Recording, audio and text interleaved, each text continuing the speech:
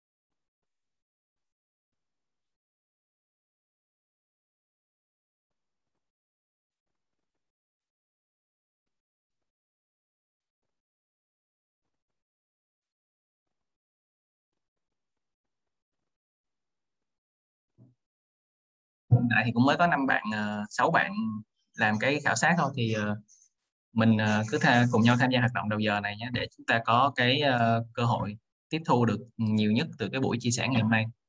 Thì nếu mà bạn nào mà bạn ấy nãy mình có để cái QR code á nhưng mà bây giờ mình chuyển qua cái màn hình này để chúng ta cùng xem kết quả. Thì nếu mà ai mình không có quét được QR code á, thì mọi người có thể vào web uh, theo cái đường dẫn là menti.com này. Và nó sẽ hỏi mọi người một cái mã code thì mình sẽ có thể nhập cái mã code là 922161145 thì à, để mình tham gia vào trong cái uh, bài khảo sát đầu tiên hay là cái câu hỏi để chúng ta khởi động cho cái buổi hôm nay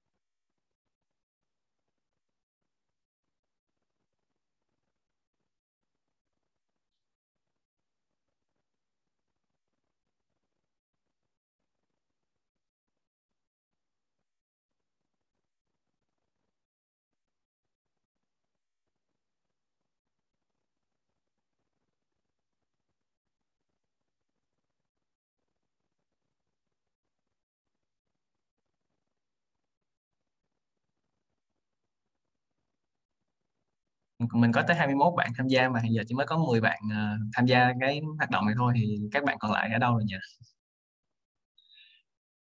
Mình cứ chia sẻ thôi cái này chỉ là một cái um, hoạt động để coi coi là cho tất cả chúng ta ngồi đây này để cùng uh, nhìn nhận hay là cùng chia sẻ với nhau là khi mình nghe đến cái từ định hướng nghề nghiệp thì cái điều gì nó xuất hiện trong đầu mọi người. Để từ đó chúng ta có thể biết được là qua buổi hôm nay thì mình sẽ gặt hái được những điều gì.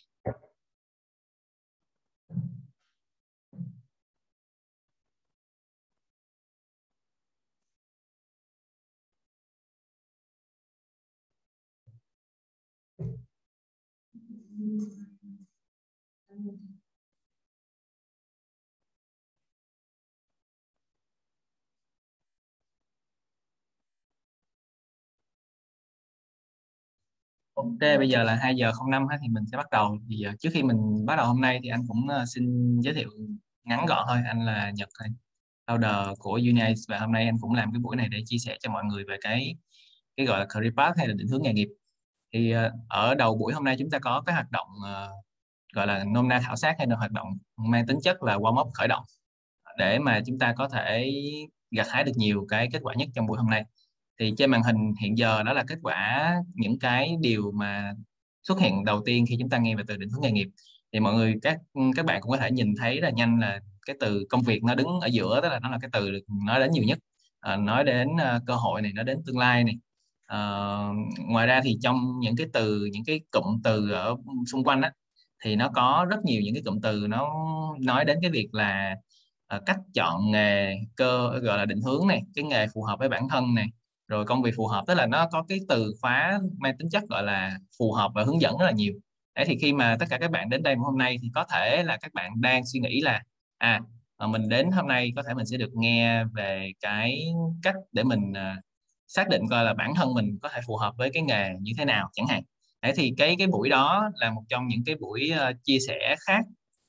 Uh, và cái buổi đó cái nội dung đó thường là nó rất là phổ biến ở trên thị trường hiện giờ và rất nhiều những cái đơn vị nhân sự họ đã làm cái việc rất là nhiều.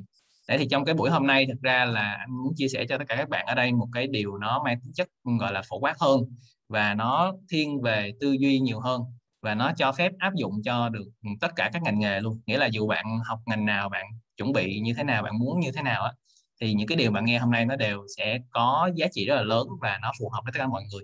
Đấy, thì ờ, cái mọi người cũng có thể thấy được là một cái buổi chia sẻ ngắn như thế này nó sẽ rất là khó để mà cover được hết tất cả những cái nghề trong xã hội hay là đi vào từ chi tiết từng nghề. Và mỗi nghề nó có những cái đặc thù riêng. Tuy nhiên khi chúng ta nói đến định hướng nghề nghiệp hay phát triển nghề nghiệp á, thì nó sẽ có một cái cái theme chung ha rồi thì bây giờ anh sẽ quay lại cái slide của mình ha.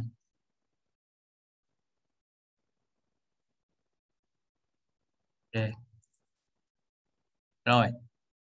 Thì cái buổi ngày hôm nay mình nói đến uh, career path thực ra cái cái định hướng nghề nghiệp nó sẽ mang tính chất đó là bạn sẽ trả lời cái câu hỏi là bạn trông như thế nào trong 3 năm năm tới. Thì cái câu hỏi này cũng là một trong những cái câu hỏi ờ, khá là kinh điển cũng như là nổi tiếng khi mà chúng ta đi phỏng vấn xin việc gần như là tất cả các bạn thế nào cũng sẽ được hỏi câu này. Trong uh, uh, trong một hoặc là nhiều lần phỏng vấn nhưng mà chắc chắn trong ít nhất một lần phỏng vấn các bạn sẽ được hỏi câu này. Là 3 đến 5 năm tới thì bạn trông như thế nào? Thì trước khi mà đi vào chi tiết hơn anh cũng muốn giải thích qua một xíu cái câu này ha.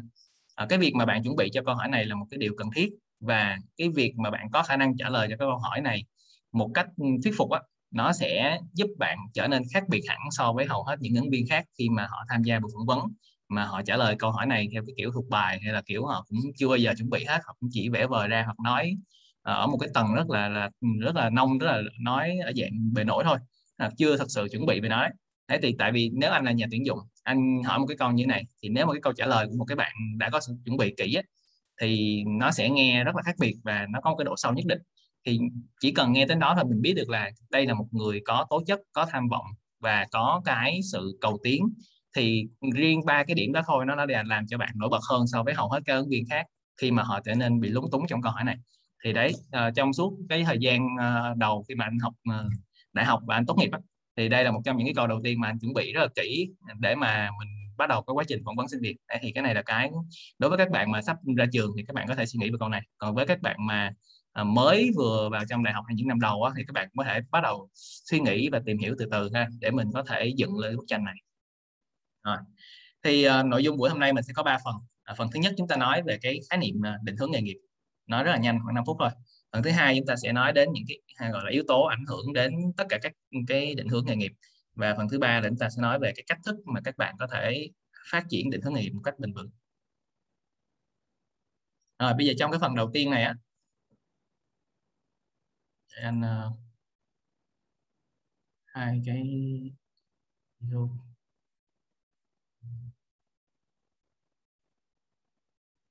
rồi. Thì khi mà chúng ta nói đến cái phần à, định hướng nghề nghiệp á, thì có thể hiểu theo một cái cách khác. Nó là một cái cách thức lộ trình hay là con đường phát triển bản thân. À, tức là khi mình nghe đến định hướng nghề nghiệp thì mình cần phải nghĩ đến cái từ cái cụm từ là phát triển bản thân. Thì lúc đó mình mới thực sự hình dung hết được là mình cần phải làm những cái việc gì. Rồi thì cái việc mà mình nói đến phát triển bản thân ở đây á trong cái bối cảnh thế kỷ 21 và trong cái thế kỷ mấy bạn đang sống bây giờ này à, trong cái thời đại người ta hay gọi là 4.0 đấy thì à, cái việc phát triển bản thân không thôi thì nó chưa đủ. Hầu như là bất cứ ai cũng đang phát triển bản thân. Và bạn khi mà đi làm hay đi xin việc hay là đi phỏng vấn nói chung thì đều sẽ phải cạnh tranh với uh, tất cả mọi người mà họ đang đều cố gắng nỗ lực để đạt hiệu suất rất là cao. Thì như vậy chúng ta cần phải phát triển nhanh chứ không chỉ là phát triển bản thân. Nghĩa là nó khác với thời kỳ của anh thời trước đây rất là nhiều là lúc đó uh, nó sẽ có sự khác biệt giữa nhóm là chưa định hình được định hướng nghề nghiệp hay là chưa có kế hoạch phát triển bản thân và cái nhóm là có kế hoạch phát triển bản thân. Nhưng bây giờ gần như tất cả mọi người đều có kế hoạch phát triển bản thân và cái mấu chốt là bạn phải có kế hoạch phát triển nhanh chứ không chỉ là phát triển ha. rồi thì như vậy mình hiểu được là cái từ career path thì mình nói đó là phát triển bản thân và mình hiểu trong cái bối cảnh hiện giờ nó đồng nghĩa với việc đó là phát triển nhanh. Thì để mà phát triển nhanh thì bạn cần phải có được hai yếu tố thứ nhất là cái con đường của bạn nó phải rõ ràng. Và thứ hai là nó phải là con đường ngắn nhất. Đấy, thì cái con đường rõ ràng nó sẽ dẫn đến cái con đường ngắn nhất. Tức là cái yếu tố đầu tiên là bạn phải hình dung được cái cái con đường lộ trình phát triển bản thân nó phải rất là rõ thì sau đó bạn mới biết được là tìm con đường ngắn nhất như thế nào. À, thì bây giờ mình nói về cái khía cạnh rõ ràng trước. Ở yếu tố rõ ràng à, hay nói nôm na là mình biết là mình đang ở đâu và mình muốn đến đâu thì khi mọi người nghĩ về cái, gọi yếu tố là con đường phát triển nghề nghiệp rõ ràng á, thì mình cứ tưởng tượng đến cái tình huống là mình dùng à, Google Maps. Rõ ràng nếu bạn muốn đi từ điểm A đến điểm B, khi bạn dùng cái ứng dụng Google Maps, bạn sẽ phải nhập vào điểm đầu à, điểm đi và điểm đến. Thì sau khi bạn nhập xong thì hệ thống Google nó sẽ trả ra cho bạn các kết quả là các cái đường đi khác nhau. Thì nhìn vào đó mình thấy ngay à mình có tới ba, bốn, có thậm chí là chục cái cách thức để đi từ điểm A đến điểm B. Nhưng mà rõ ràng trong đó nó sẽ có một cái lộ trình đi là ngắn nhất đấy thì như vậy cái việc mà mình có được cái sự rõ ràng ở đây đó nó sẽ liên quan đến việc là bạn có khả năng xác định được là cái điểm đầu và điểm đến trong cái career path của mình nó đang như thế nào và bạn cần phải làm rõ điều đó. Thì ừ, khi mà nói đến đây nhiều bạn sẽ cảm thấy rất là mong lung tại bây giờ ra ví dụ như uh, em đến buổi hôm nay em hy vọng là sẽ được ừ, chia sẻ những khía cạnh liên quan đến việc em là người hướng nội hướng ngoại thì em phù hợp với nghề gì? Hoặc là cái anh là background về phân tích dữ liệu thì anh sẽ chia sẻ rất nhiều những cái ngành liên quan dữ liệu hoặc là ngành nào chuyển qua dữ liệu phù hợp. Nhưng thật ra thì nói chung là các bạn đang rất hoang mang cũng chưa biết là mình muốn cái gì. Thì làm sao mình có thể biết được là điểm đầu của mình như thế nào và điểm đến của mình ra làm sao? Thì có một cách thức nó khá là dễ trong cái việc mà các bạn thực hành xây dựng cái lộ trình rõ ràng hay nôm na là phát triển điểm đầu tiên và điểm đến mà mình muốn. Đó là mình nhìn nhận con người của mình à, anh sẽ cho mọi người một cái ví dụ cụ thể. Đây là uh, thời điểm mà anh tốt nghiệp thì anh sẽ là cái điểm đầu tiên mà anh muốn nói đến. Thì lúc này anh định hình con người của mình đó là một sinh viên mới tốt nghiệp có khả năng tư duy logic tốt thành thạo Excel và luôn hoàn thành công việc như chỉ dẫn. Thì đây là điểm bắt đầu. Ờ, và khi mà anh nghĩ trong khoảng 3 năm nữa thì anh sẽ muốn trở thành con người như thế nào?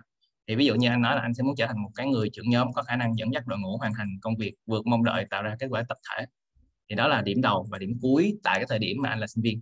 Thế thì rõ ràng mọi người thấy là nếu mình đặt mình bối cảnh là lấy bản thân mình ra để mình xây dựng cái điểm đầu và điểm cuối này tức là mình sẽ dựa trong cái gọi là tham chiếu của bản thân trong quá trình mà chúng ta phát triển lên từ từ lúc mà chúng ta bắt đầu có nhận thức đến khi chúng ta lớn đi học cấp 3 rồi, rồi vô đại học thì chắc chắn là mỗi người đều có đâu đó cho mình cái hình mẫu cụ thể mà các bạn thực sự muốn hướng đến hay là muốn trở thành mình ngưỡng mộ ai đấy vì cái điều gì đấy mà họ làm thì đó chính là những cái tham chiếu cá nhân mà các bạn sẽ dùng trong cái việc xây dựng ra cái điểm đầu tiên và điểm đến này.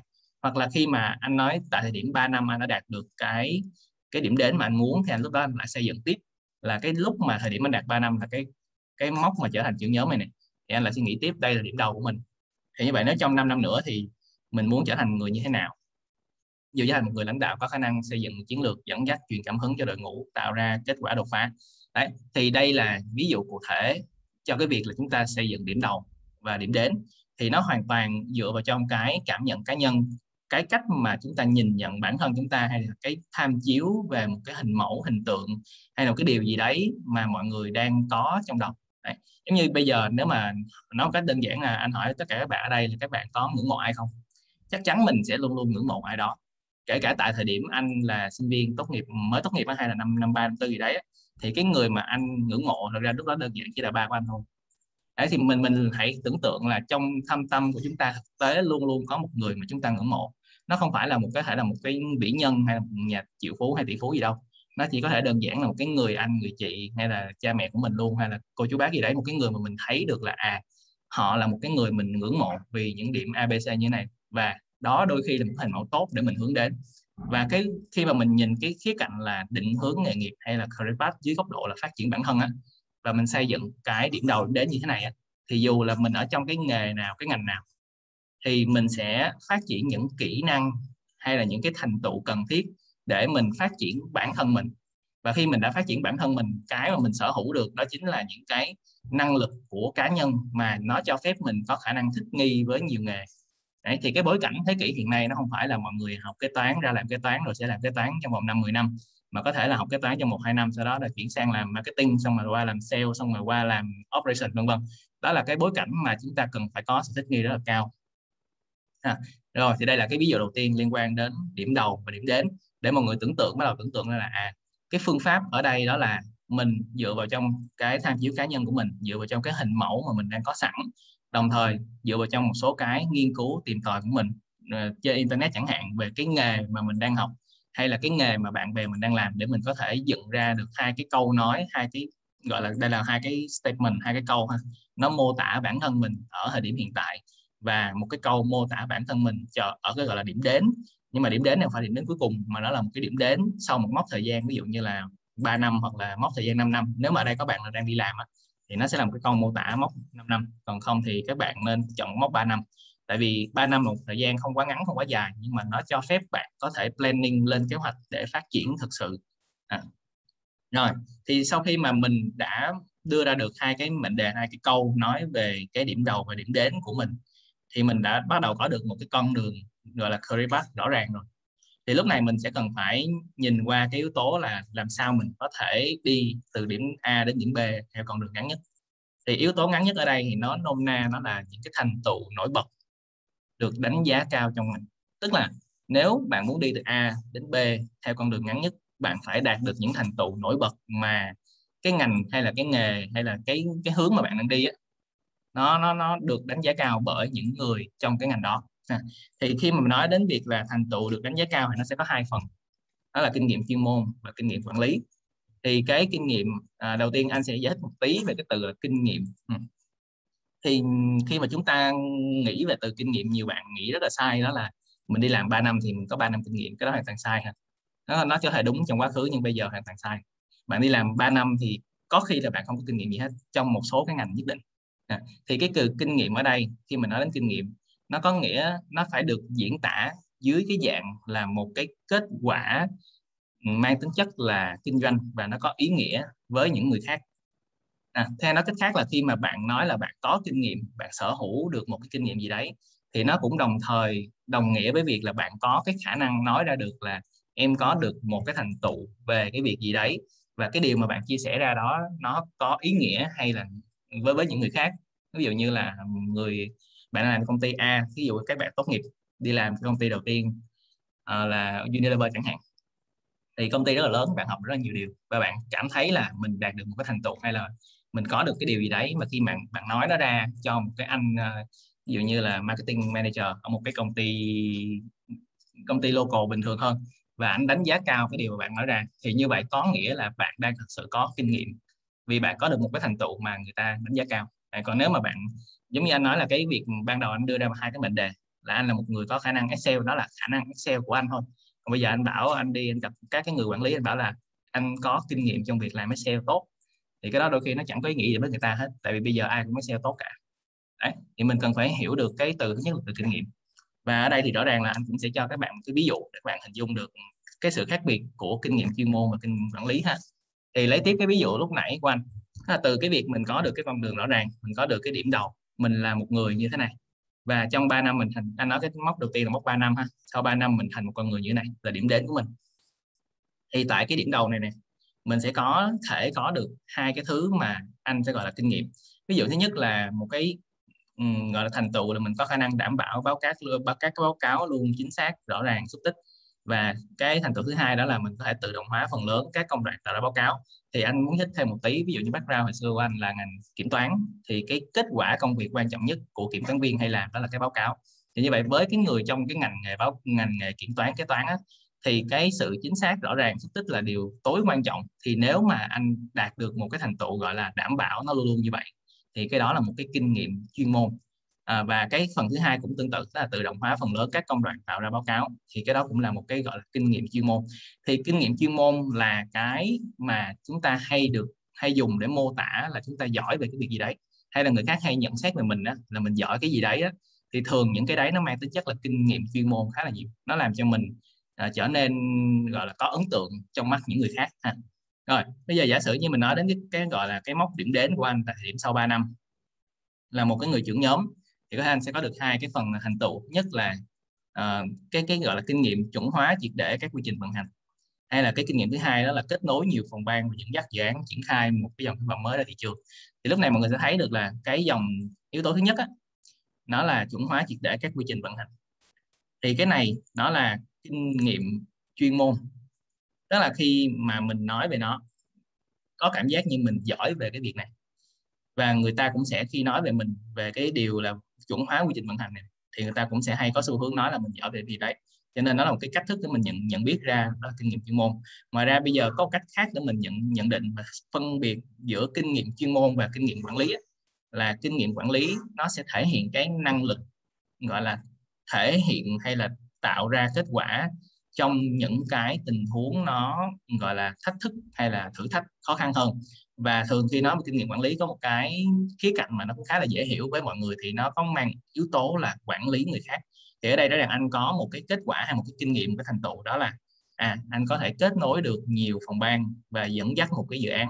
Nghĩa là ở đây mình đóng vai trò là một cái người leader trong một cái project.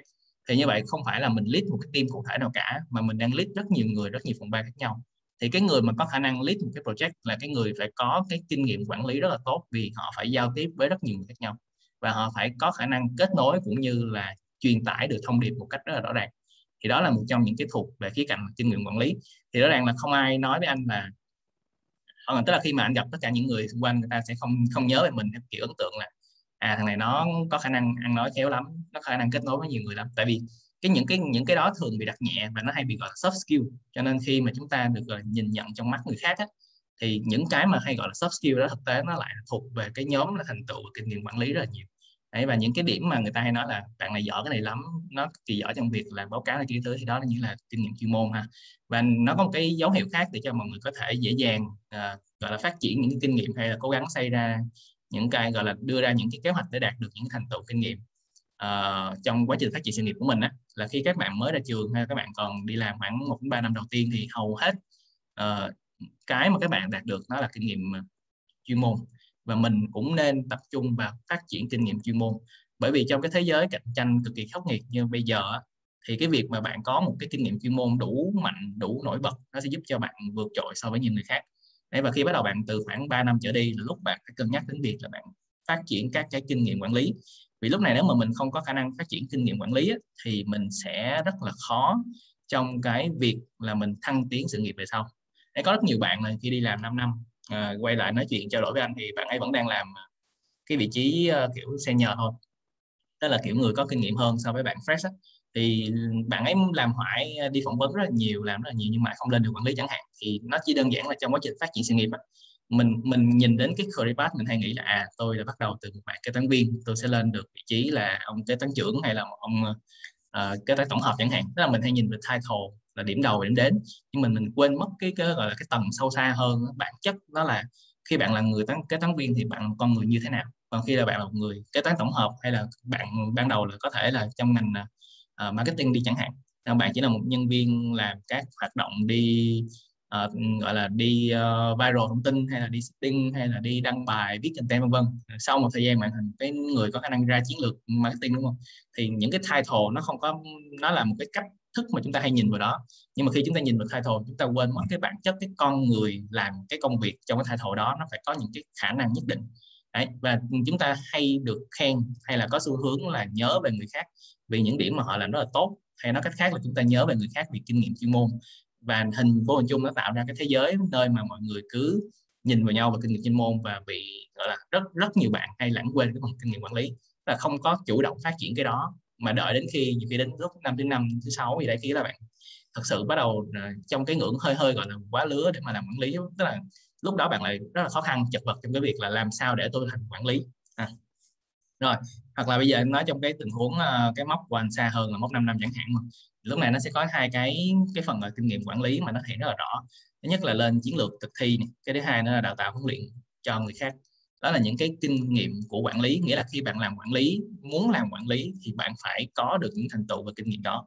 Còn việc bạn là quản lý trong ngành kế toán hay trong ngành marketing trong ngành nào cũng vậy tức là một khi đã là quản lý thì đó là những cái điều mà chắc chắn mình phải có. Đấy thì khi mà chúng ta phát triển kinh nghiệm chuyên môn á, thì nó lại rất là đặc thù liên quan đến từng ngành nghề. Nhưng mà khi mọi người phát triển năng lực quản lý á, thì nó lại mang tính chất phổ quát nhiều hơn và thường là tất cả các ngành nghề đều giống nhau à, đấy là một cái chia sẻ thêm của anh. Rồi. Như vậy qua hai phần đầu tiên thì mình cũng thấy được cái uh, cái việc là mình có cái định cái hiểu đúng đắn hơn về cái từ career path cũng như là mình nhìn thấy được là hai cái yếu tố chính ha. Một cái là mình phải có được cái sự rõ ràng trong cái con trong cái gọi cái career path của mình. Cái thứ hai là mình phải có được cái cách thức để mình phát triển cái con đường ngắn nhất. Thì như vậy là bây giờ mình làm sao để mình có thể thực hiện nôm na là đi tự mình bắt bắt tay vào làm cái việc là xây dựng cái uh, cái con đường rõ ràng là con đường ngắn nhất.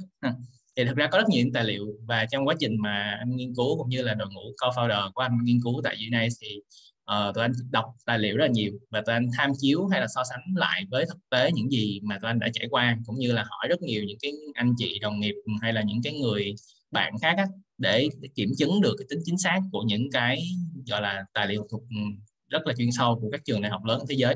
Thì có một cái điều ờ, đúc kết được nó đơn giản như này.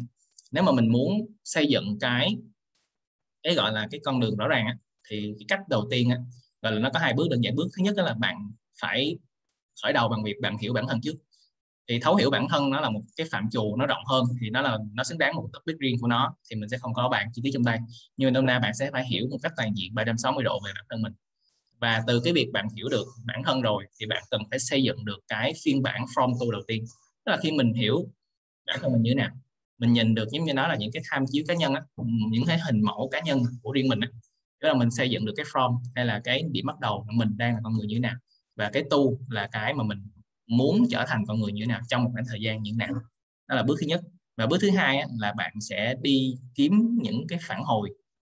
Tức là bạn có xây dựng ra cái phiên bản đầu tiên sau đó bạn kiếm những cái phản hồi từ những cái người mà làm việc trực tiếp với bạn. Thì bây giờ khi các bạn là sinh viên thì có thể là các bạn sẽ chưa đi làm cho nên là cũng có rất là nhiều bạn sinh viên cũng đi làm rồi nên sẽ có đồng nghiệp ha. Còn nếu bạn nào không có thì đó là những người bạn thân của mình. Những người mà thực tế có thể nói thẳng cho mình là uh, anh chị em của mình là những người có thể nói thẳng với mình này. Còn khi bạn đi làm thì nó sẽ có là đồng nghiệp ừ, làm ngang cấp với bạn hoặc là sếp trực tiếp của bạn đấy, tức là nôm na cái bước hai trong cái việc mà mình có khả năng xây dựng được cái cái gọi là career path đó rõ ràng hay không á, nó không phải dựa vào việc là mình đi hỏi rất nhiều người, mà mình phải hỏi những người có khả năng nói chuyện với mình một cách thẳng thắn.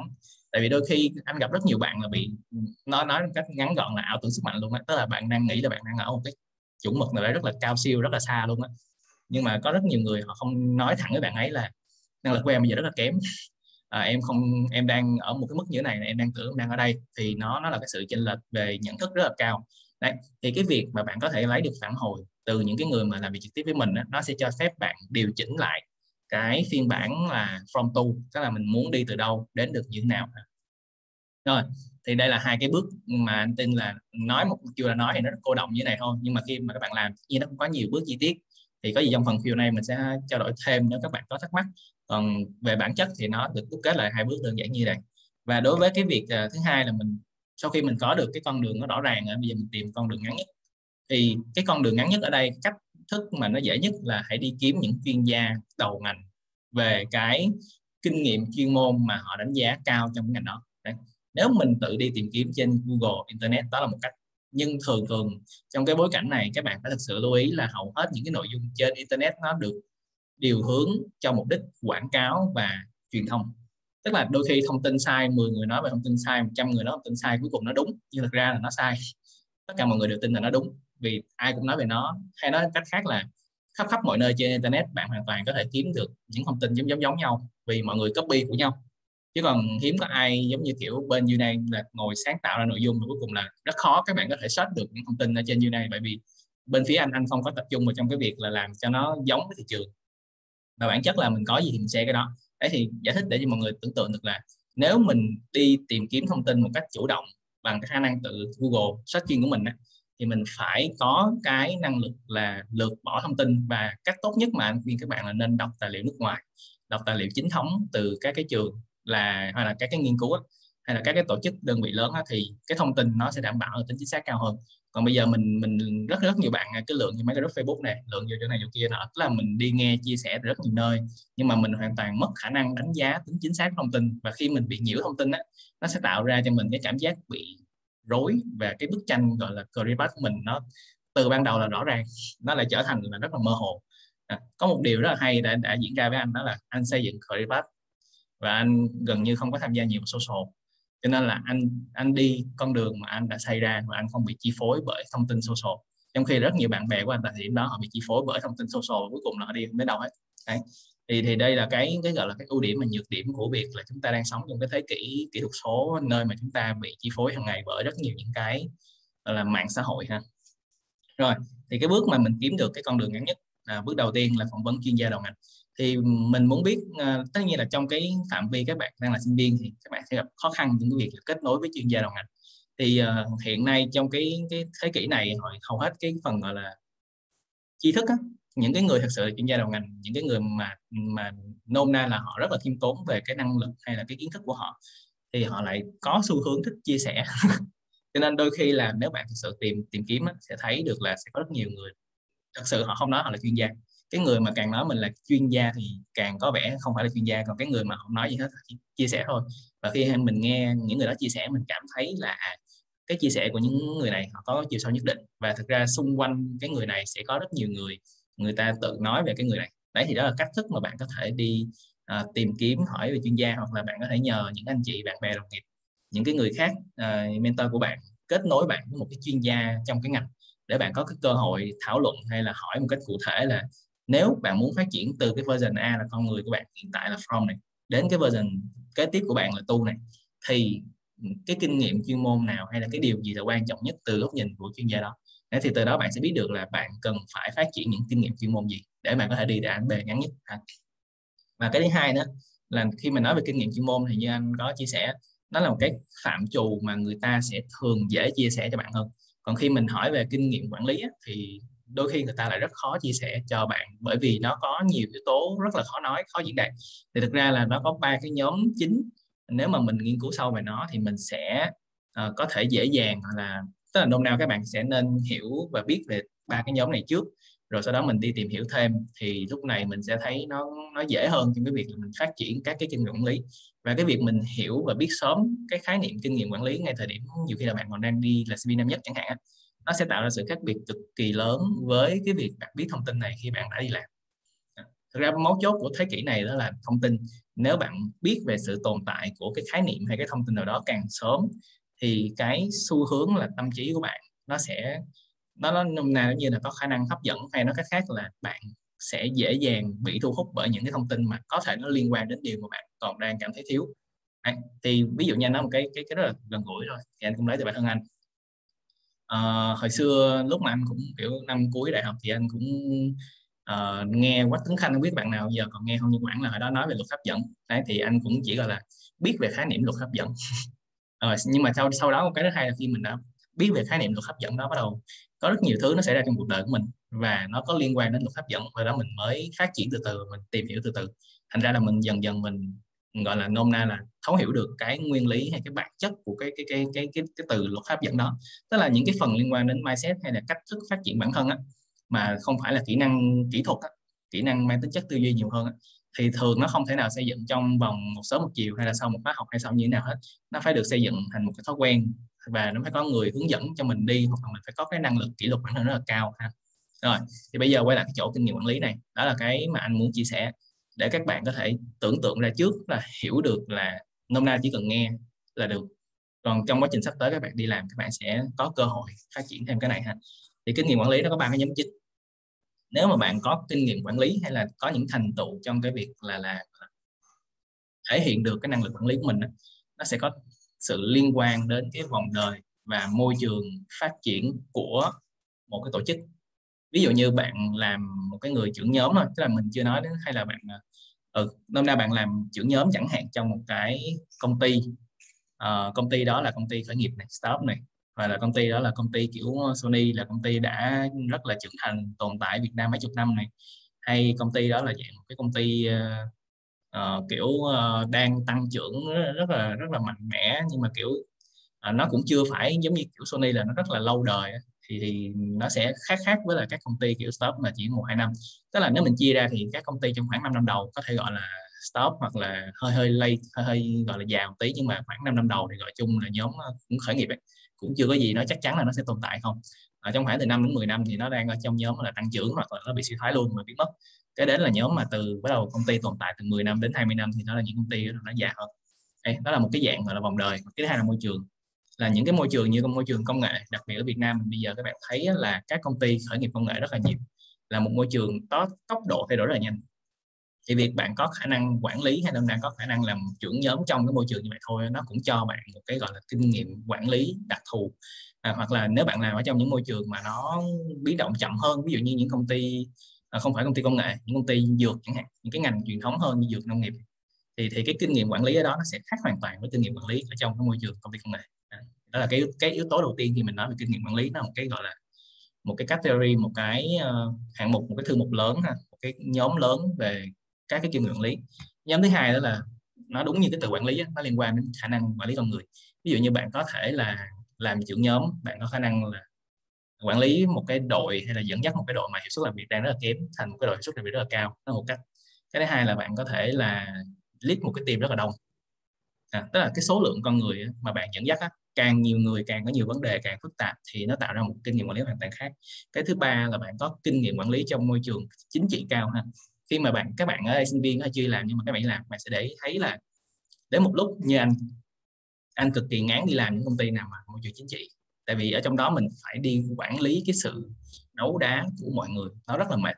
Nhưng mà cái đó là một cái kinh nghiệm quản lý và nếu mình đã từng có cơ hội tham gia vào những môi trường chính trị như vậy nó sẽ cho phép mình có cái năng lực rất là khác biệt so với nhiều người khác. Nhưng mà tất nhiên mình cũng không nên ở lâu bởi vì ở lâu rất là mệt đó là một cái kiểu kinh nghiệm quản lý tức là bạn có khả năng làm quản lý trong môi trường mà cái độ chính trị hay là độ cạnh tranh đấu đá mang tính chất quyền lực rất là cao thì thì đó là cái kiểu kinh, kinh nghiệm quản lý liên quan đến quản lý con người ha. Còn ngoài ra cũng có một cái loại khác nữa là cái này nghe có vẻ không phải là quản lý này. Bạn ở trong một cái bối cảnh mà bạn có khả năng ảnh hưởng lên tất cả những người khác xung quanh mà bạn không có quyền ra quyết gọi là không có quyền uh, nói người ta phải làm gì hay nói cách khác là bạn không phải sếp quản lý của bất cứ ai hết. Nhưng mà bạn lại là một cái người có khả năng ảnh hưởng lên những người khác. Đấy. thì đó cũng là một dạng kinh nghiệm quản lý. Lúc này mình là một cái người à, gọi là có khả năng chi phối và là một người truyền cảm hứng rất là lớn đến toàn đội ngũ mà mình không cần phải là cấp quản lý trực tiếp của ai cả. Còn nhóm thứ ba đó là nhóm văn hóa địa lý nhóm này thì dễ hơn rất là nhiều. Làm ở Việt Nam là bạn có kinh nghiệm làm quản lý ở trong môi trường các nước châu Á các nước đang phát triển. Nói Việt Nam mình là nó đại diện như vậy. Thì khi bạn qua Singapore chẳng hạn nó có thể hơi khác chút. Nhưng mà nếu bạn qua US hay là bạn qua châu Âu chẳng hạn thì đó là những cái kinh nghiệm quản lý trong môi trường các nước đã phát triển. Hoặc là những công ty nó đã giống như khoảng cách về công nghiệp hay khoảng cách về trí thức rất là cao. Đấy thì đó là những cái gọi là khía cạnh hay là những cái nhóm nói về kinh nghiệm quản lý. Đấy thì hy vọng là qua cái uh, phần này thì các bạn cũng uh, hiểu hơn được là mình cần phải xây dựng cái career path của mình. Đầu tiên là rõ ràng. Sau đó thì chọn con đường ngắn nhất. Và con đường ngắn nhất ở đây nó bao gồm là mình xác định ra được những cái kinh nghiệm chuyên môn nào mình cần phải có được để mà được đánh giá cao bởi những người trong ngành mà mình đang muốn hướng tới. Và cái thứ hai là mình phải định vị được những kinh nghiệm quản lý nào mà mình chắc chắn sẽ cần sau một khoảng thời gian mà mình đã đi làm. Rồi. Thì uh, cuối cùng thì anh cũng chỉ muốn chia sẻ cho các bạn một cái điều như này thôi. Thì phát triển bản thân nó là một cái quá trình học hỏi liên tục và nó nên bắt đầu ngay từ hôm nay tức là chúng ta nghe hôm nay. Thì nói, nói nôm na là bắt đầu nào á, ngay bây giờ á, là bạn nên bắt đầu suy nghĩ về việc phát triển bản thân rồi. Và cái này nó sẽ tạo ra sự khác biệt rất là lớn cho rất rất rất là nhiều người. À, và cái phát triển bản thân á uh, nhanh á, khi anh nói về cái phát triển nhanh này anh có highlight lên nó không có dễ tức là như mọi người nghe anh chia sẻ nãy giờ. Cái khía cạnh của cuộc nói chuyện này nó rất là khác biệt so với những cuộc nói chuyện khác mà các bạn có thể nghe liên quan đến chuyện như anh nói đầu giờ là lựa chọn cái nghề nào hợp với mình. Nó là một cái khía cạnh chia sẻ liên quan đến cách thức bạn tư duy về định hướng nghề nghiệp của mình. Thì nó rất là, nó không dễ. Nhưng mà nếu bạn có thể làm cho nó rõ ràng, như nãy giờ cách mà anh nói ờ, hay là cái ví dụ mà anh chia sẻ ra thì các bạn cũng thấy là nó sẽ đơn giản hơn. À, cái cái cái việc mà nó dễ khó với việc nó đơn giản hay là phức tạp nó nó là hai cái phạm trù. Đôi khi mình sẽ dễ bị bị gọi là rối. Nhưng mà mình nói đơn giản này một cái ví dụ luôn ha để các bạn có thể phân biệt được dễ khó đơn giản hay phức tạp. À, mình nói ờ, đi chế tạo tên lửa chắc chắn là nó khó. Không ai nói là nó không hề dễ hết. Người ta sẽ nói là nó khó.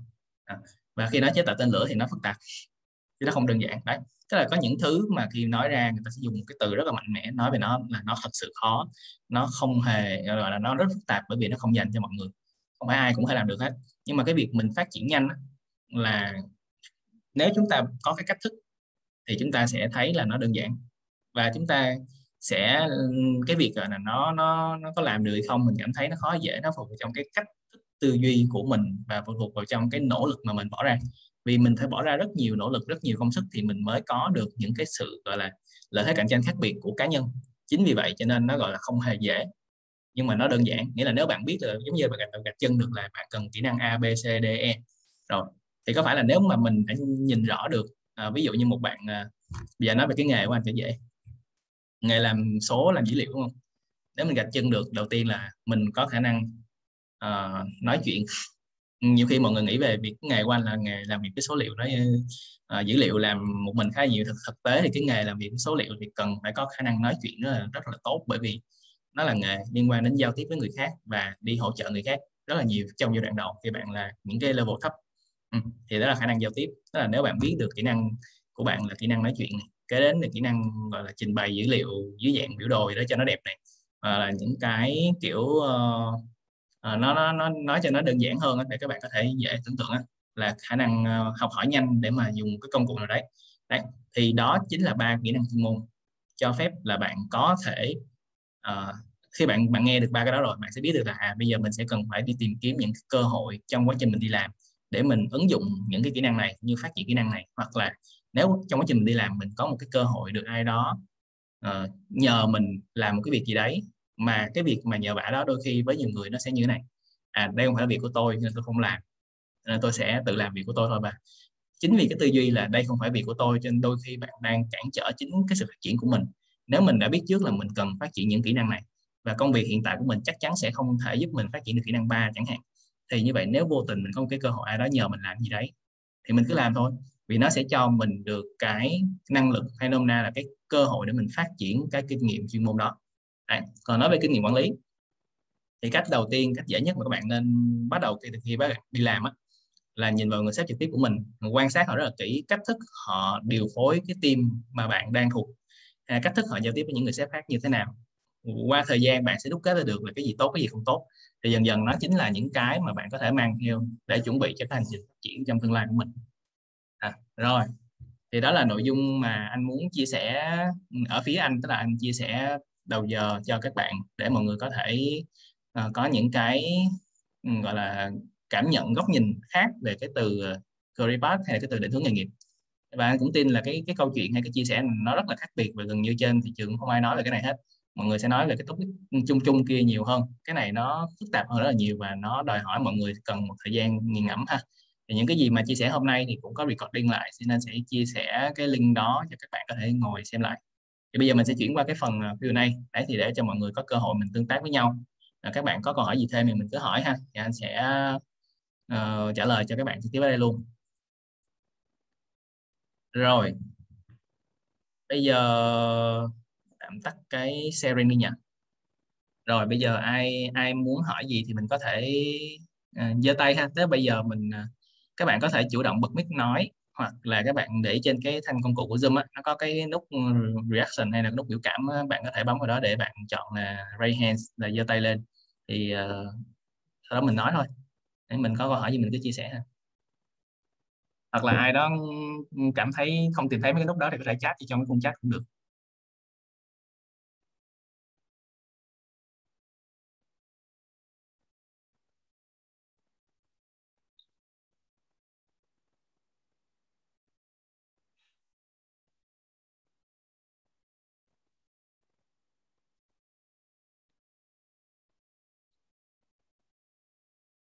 Ok.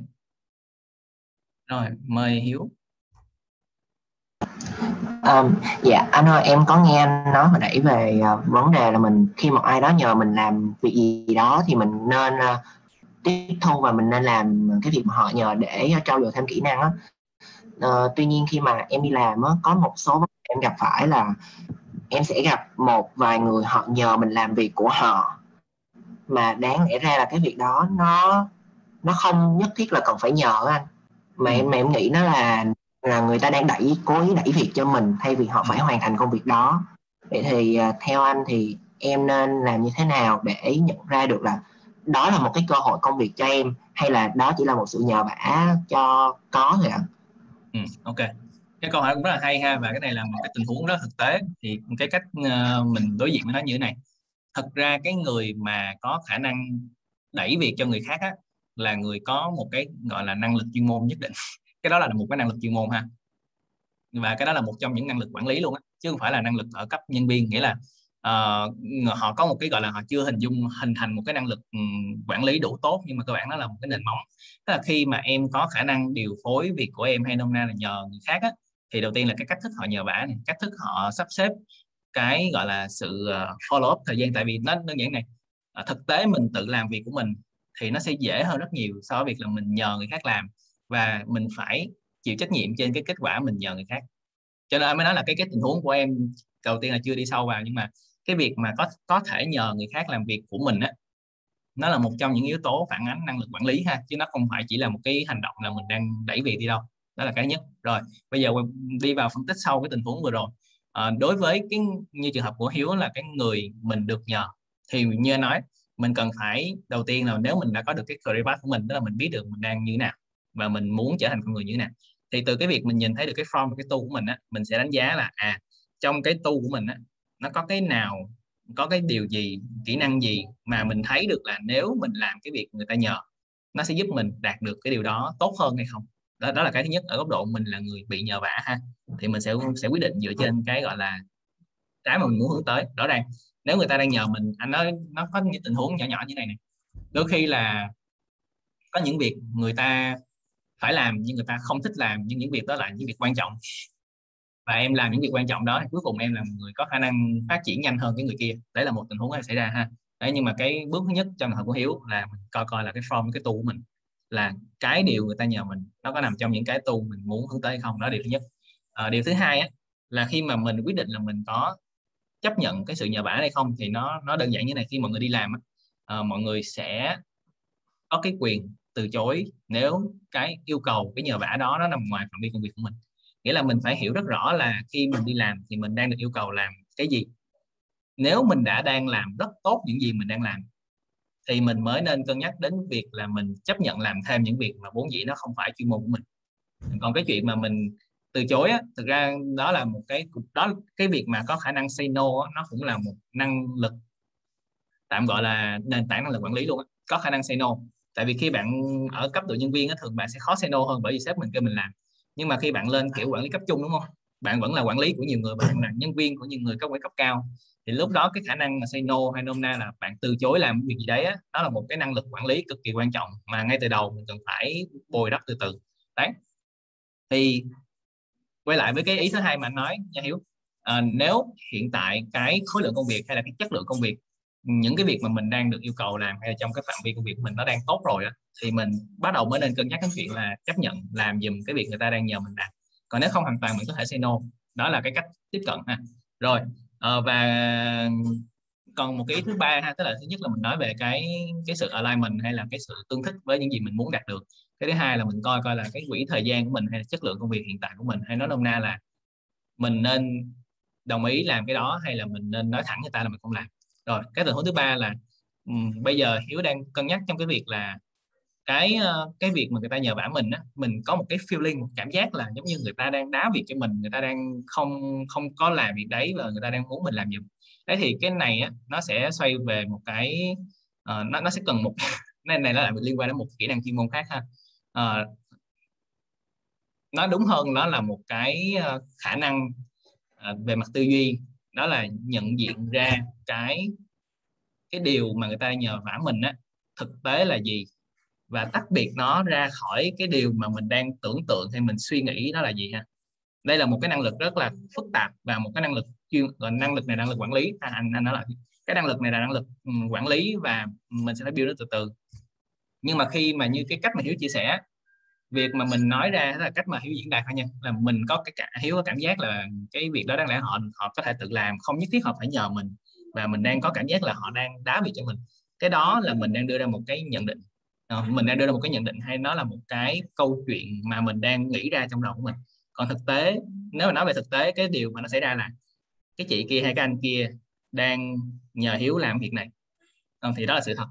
Thì cái câu trả lời của hiếu có thể là yes hoặc no. Ờ, và nếu mà mình mình có khả năng bắt đầu gọi là mình bỏ cái phần câu chuyện cái suy diễn của mình ra khỏi cái chuyện là người ta đang nhờ mình mình chỉ cơ đơn giản là nhìn ở phía mình á nó có like mình hay không có thời gian để làm hay không? Ok, nếu yes yes, mình làm. Nếu không thì mình không làm. Mình không vẽ thêm câu chuyện, mình không đưa thêm yếu tố cá nhân hay là yếu tố tưởng tượng vào trong đó. Thì đó là một cái mà lâu dài hiếu sẽ được người ta gọi đến với một cái cách thức đó là professional worker, đó là làm việc chuyên nghiệp. Nghĩa là mình hoàn toàn không có bất cứ một cái suy diễn gì hết. Tất cả mọi thứ diễn ra, nó là cái điều đang diễn ra thôi. Và trong bất cứ một cái yêu cầu nào mình có quyền say yes, say no. Rồi, thì không biết là cái câu trả lời như vậy nó có thỏa mãn và nó cũng bao hàm được đầy đủ cái mà hiếu muốn hỏi chưa? Dạ em cảm ơn anh rất là nhiều câu hỏi của anh là khai sáng cho em rồi cảm ơn anh rồi ok cảm ơn em ha. Rồi uh, lê thị lê phạm cẩm thu hả? Ok mời em. Dạ em chào anh. Dạ anh ơi, à, thông qua cái chia sẻ của anh với lại cái ví dụ từ từ nghiệp của anh ấy thì em em thấy là nó rất là hợp lý với các bạn theo đúng ngành ấy thì anh có thể có những lời khuyên hay là những cái lưu ý gì mình cần phải lưu ý nếu như mà em là một người học trái ngành được không ạ? Ừ, anh hỏi thêm xíu chỗ này học học trái ngành ở đây tức là em học ngành A và em ra trường đi làm ngành B đúng không? Dạ đúng rồi. Rồi ok. À, hiện giờ em đang đi làm hay em đi, đi học nhỉ? Dạ hiện tại thì em đang học. Rồi ok. À, tin vui cho em á là trong cái điều tiên hay là tin vui cho cho em và cho nhiều người nếu nhiều người không biết.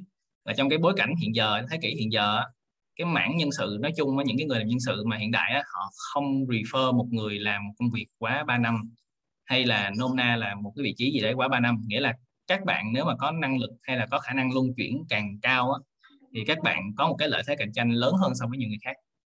Nói như vậy có nghĩa là những cái bạn mà thật sự giỏi có năng lực á, hầu hết các bạn ấy đều làm trái ngành tại một thời điểm nào đấy. Ha, rồi đó là cái thứ nhất. À, bây giờ cái cái quay lại cái câu chuyện ở đây là ừ, cái điều lời khuyên gì cho các bạn là trái ngành. À, nó nó như thế này. Khi mà mình học một cái ngành A thì thực ra nó sẽ có một số cái lợi thế nhất định cho mình khi mình vừa tốt nghiệp và mình làm đúng cái ngành của mình. Là vì người ta nhìn vô trong cái profile của các bạn lúc mà mới tốt nghiệp á nó nó rất là trắng bóc luôn nó không có nhiều kinh nghiệm làm việc. Đa số nó liên quan đến việc là mình học cái gì. Thì người ta sẽ dựa trên những cái mình học để người ta xem xét đánh giá mức độ tương thích của mình với cái vị trí mà họ đang tuyển dụng. Đó, đó là cái mindset thông thường của những người đang tuyển dụng. Thành ra nếu em đang học cái ngành anh nói anh em học ngành gì nhỉ? Để cho nó cụ thể. Dạ hiện tại em học ngôn ngữ anh. Ngôn ngữ anh hả? Dạ đúng rồi. À, ok. Đấy thì trong tình huống của em ví dụ như, như là bây giờ em đang học cái ngành ngôn ngữ anh đúng không? Ngành này là thuộc uh, khối uh, xã hội nhân văn hay ta? Không phải không phải là khối ngành kinh tế đúng không? Anh nhớ bạn bán là kinh tế khối ngành ngôn ngữ. À, đấy thì bây giờ em đang học cái ngành ngôn ngữ anh đúng không? Thì khi mà cái lợi thế cạnh tranh của em khi mà em ra trường em làm cái ngành liên quan đến dịch thuật chẳng hạn tức là liên quan đến ngôn ngữ nói chung á thì rõ ràng cái người mà tìm kiếm ứng viên người ta sẽ cảm thấy là có sự matching rất là lớn bởi vì bạn này là sinh viên. Họ tức là người tuyển dụng họ rất hiểu là sinh viên họ không kỳ vọng nhiều trong cái gọi là kinh nghiệm làm việc. Họ kỳ vọng vào trong cái thái độ và cái mức độ tương thích về những gì em đã học với cái vị trí mà họ đang tuyển thành ra là đi đúng đúng tuyến là rõ ràng nó nó hiển nhiên và anh đang có giải thích cho mọi người hình dung thấy được là hiển nhiên nó như thế nào ha. Rồi bây giờ cái khó khăn phát, phát sinh là em học ngôn ngữ anh nhưng khi ra trường em quyết định em apply một vị trí liên quan đến ngành kinh tế chẳng hạn đi. Thì lúc này cái người mà nhìn hồ sơ của em á khi họ nhìn đầu tiên ấn tượng tiên là họ thấy một cái sự mismatch liên quan đến nghề nghiệp mà à, cái nguyên background mình học á với lại cái nghề mình làm á. Nó có một sự chênh lệch ừ, lớn về cái gọi là anh tạm gọi là ngôn ngữ đi ví dụ như em học ngôn ngữ à, ngôn ngữ anh hay là trong cái bối cảnh em học em sẽ ít học đến những cái môn học hay là kiến thức liên quan đến cơ bản về mặt kinh doanh kinh tế.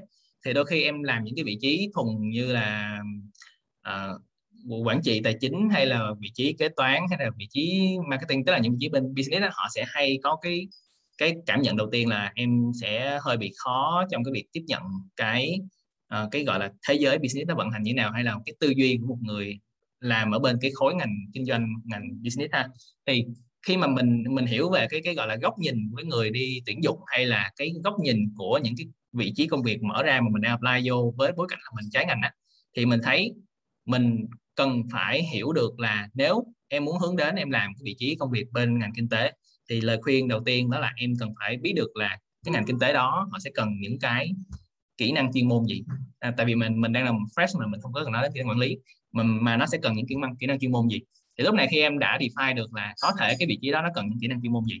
Thì trong cái hồ sơ của em á cái yếu tố nghề yếu tố gọi là ngành học của em á em sẽ dùng ngôn ngữ để em tùy biến nó một tí sao cho cái ngành học của em nó là tạo ra một cái sự bổ trợ.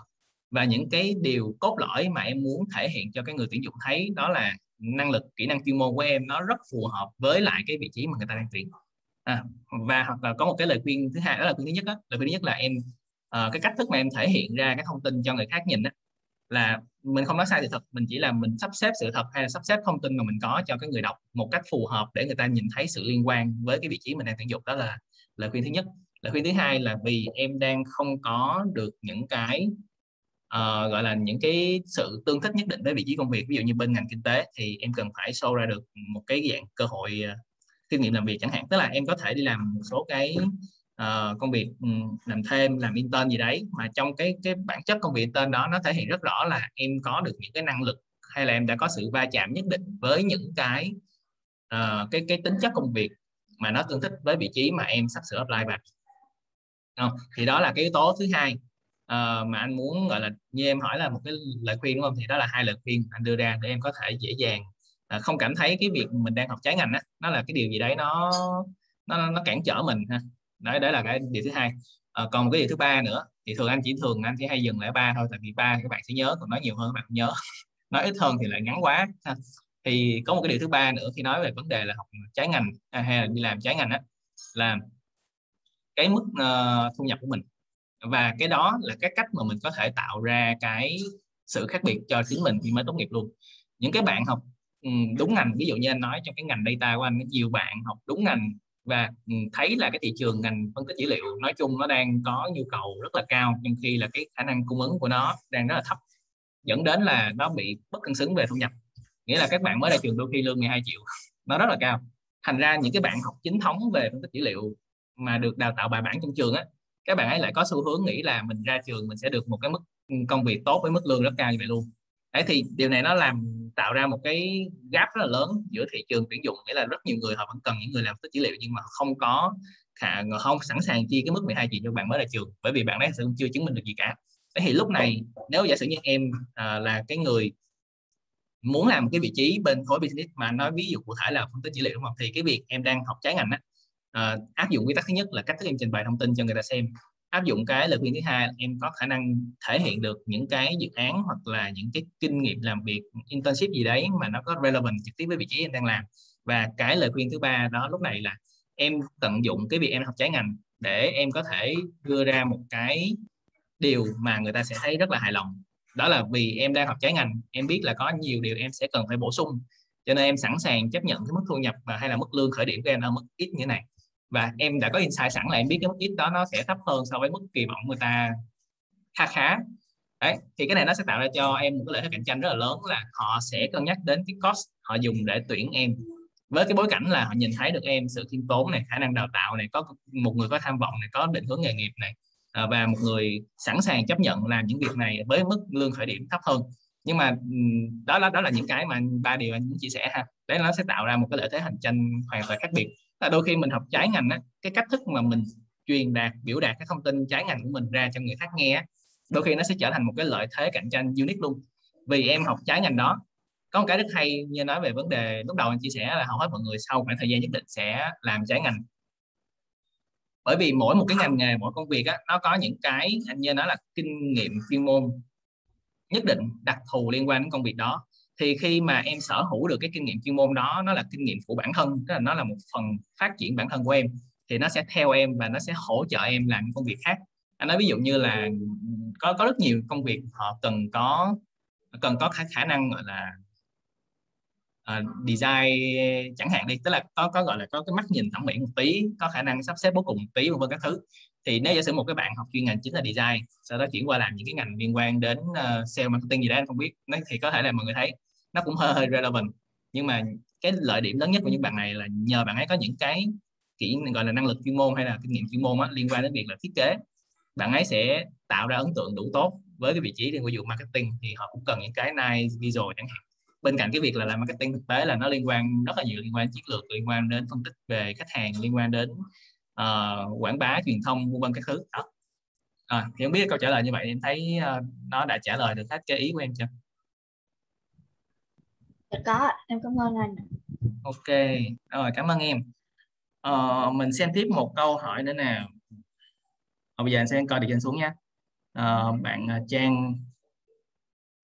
À, trang đúng không? Trang hay thi nhỉ? Nguyễn thi. À, trang. Anh có thể chia sẻ về cách để hiểu bản thân điểm mạnh điểm yếu được không? Em có biết một số bài trắc nghiệm tính cách. Mấy bài trắc nghiệm tính cách có đáng tin để uh, mình làm không? Rồi ok. Uh, cái cái trắc nghiệm tính cách á, nếu mà nói là nó đáng tin á, thì nó sẽ đáng tin nếu em làm những cái bài mà nó tính tiền em. Tức là có những bài trắc nghiệm tính cách mà làm một bài đó sẽ có giá là khoảng 500 đô một bài hay là kiểu 200 đô một bài gì đấy. Tức là giá trị cái bài cái bài trắc nghiệm tính cách đó nó có giá rất là cao. Và thường là những cái bài đó là những cái bài có yếu tố nghiên cứu rất là sâu và nó ứng dụng những cái công nghệ rất là tiên tiến. Và anh đã chứng kiến đó rồi bởi vì nó bán những tập đoàn rất là lớn mà họ muốn dùng cái bài trắc nghiệm tính cách đó để đánh giá lại năng lực của nhân viên hiện tại của họ, để xem cái mức độ tương thích về tính cách của họ so với công việc mà họ đang làm, cũng như là cân nhắc cái khả năng thăng tiến của người đó trong công ty. Đó là những bài trắc nghiệm tính cách mà anh đánh giá là nó thực sự có tác dụng và nó phản ánh rất chính xác luôn nha, đó là làm thử rồi. Nó phản ánh somehow rất chính xác cái thực tế của cái con người luôn. Và cái bài đó có thể nó đến hai, ba trăm câu chứ không phải là kiểu hai, ba chục câu hay là mười mấy câu như các bạn hay làm trên internet hay những cái bài free đâu. Đấy, thì đó là cái câu trả lời thì anh nghĩ là nó cũng phần nào cho em thấy được là những cái bài trắc nghiệm tính cách đó nó uh, tùy theo cái gọi là cái người cung cấp ra cái bài đấy cái nguồn gốc của nó và cái giá trị ờ, nôm na là cái gì miễn phí nó cũng có cái giá hết và nó thường là mọi người cũng hiểu là những cái gì miễn phí nó hay đi kèm với việc là lấy thông tin. Cho nên mình sẽ cân nhắc rất nhiều những cái đó ha. Còn cái chuyện mà nó có uh, đáng tin hữu ích hay không thực ra em nên làm nhiều để em xem. Nhưng mà nó đối với anh thì anh nghĩ là trong cái phạm trù mà hiểu bản thân á thì cái việc làm trách nhiệm tính cách đó là một cái phần Ờ, một phần thôi. Một phần phụ thôi và một trong những cái điều nhỏ thôi mà tụi em uh, cân nhắc. Nó không nó không nên là một cái gì đó rất là chi phối. Uh, nó giống như là kiểu mình làm cái tính cách mà hồi mình chọn làm thấy mình toàn là người hướng nội. Xong mình thấy đề xuất ra toàn những công việc làm hướng nội. Thì đôi khi cái đó không đúng đâu. Cái đó nó nó là một cái à, gọi là tính cách hướng nội hướng ngoại. Con người sẵn thì cũng chia sẻ thêm luôn trong cái bối cảnh câu hỏi của bạn khá là hay. Hướng nội hướng ngoại nó không phải là hai cực kiểu nhị phân là một hoặc một hoặc không tức là hướng ngoại là một hướng nội là không mà nó là một cái thang từ không đến từ không đến 10 chẳng hạn. Tức là hiểu một cái đơn giản là một cái thang. Và cái tính cách hướng nội hướng ngoại của con người nó có xu hướng thay đổi và di chuyển. Tức là bạn có thể đang là người hướng nội nhưng bạn có thể chuyển thành người hướng ngoại và ngược lại. À, chứ không có phải là người hướng nội sẽ luôn luôn hướng nội và nên làm những công việc hướng nội. Đấy. thì hầu hết những bài trắc nghiệm về tính cách nó hay đưa ra những cái cái thông điệp chung chung mà chúng ta hay lấy cái đó làm cái định hướng nghề nghiệp đó là mình là hướng nội hướng ngoại ra cái đó không đúng à.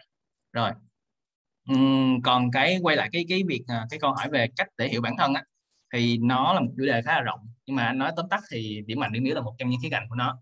À, thứ hai là em cần phải nhìn thấy được điểm mù. À, thì đây là khái, khái niệm điểm mù nó cũng dài là anh không nói đến bữa này à, ờ, kế đến là em cần phải hiểu về phương châm sống của mình.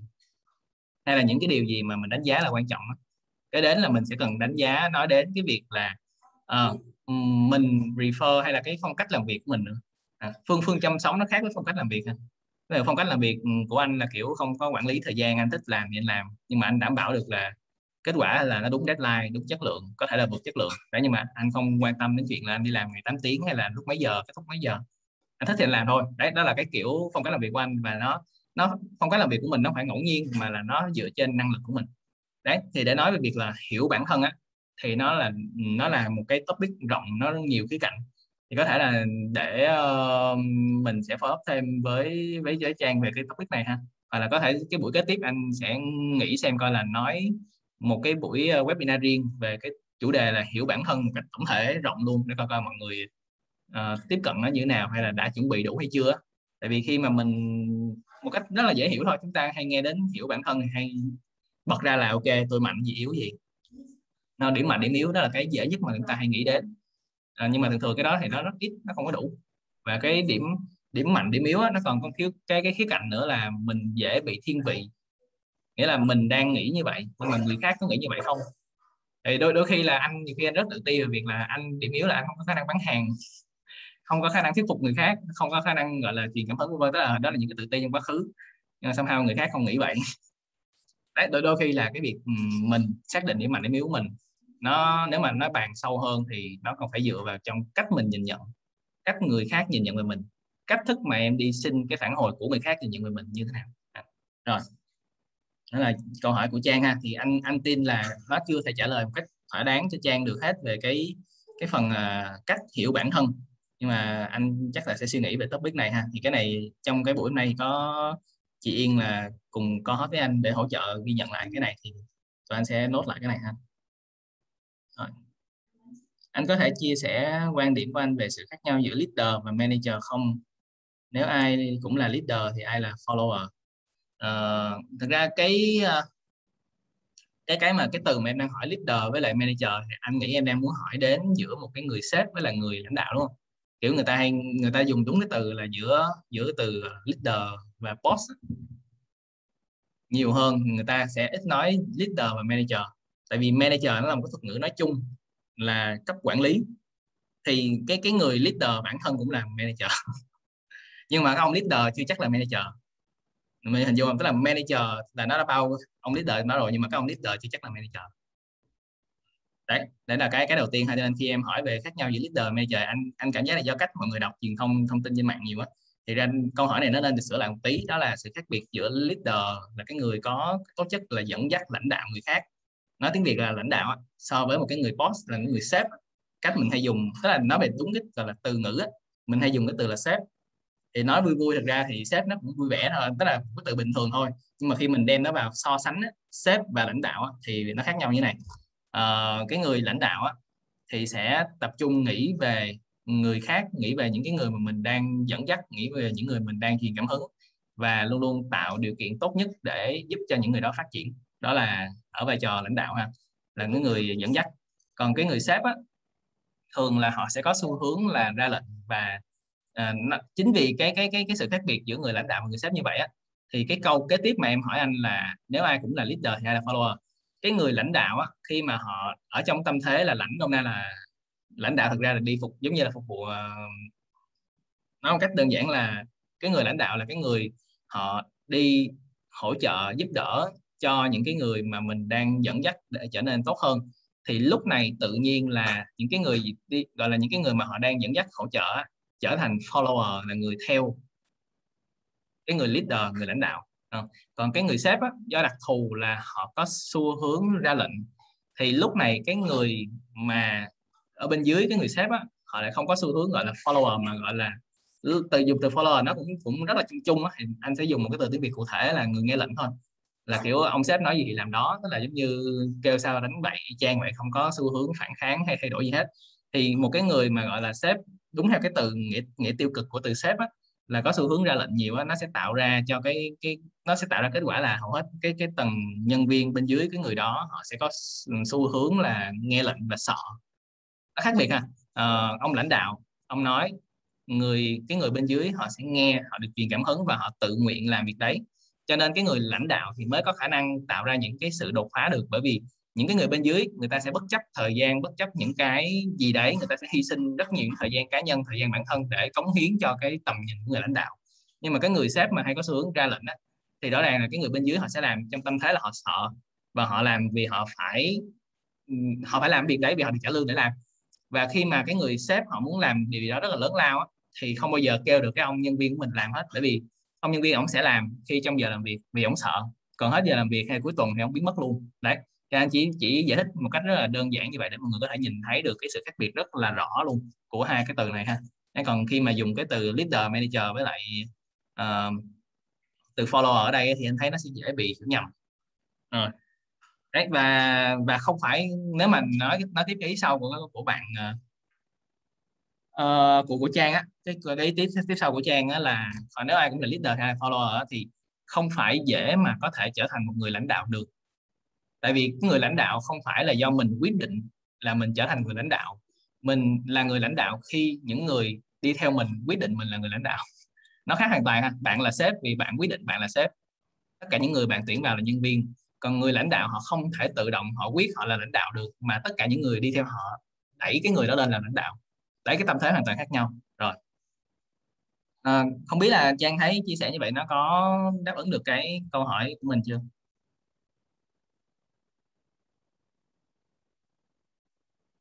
Trang ơi trang ơi.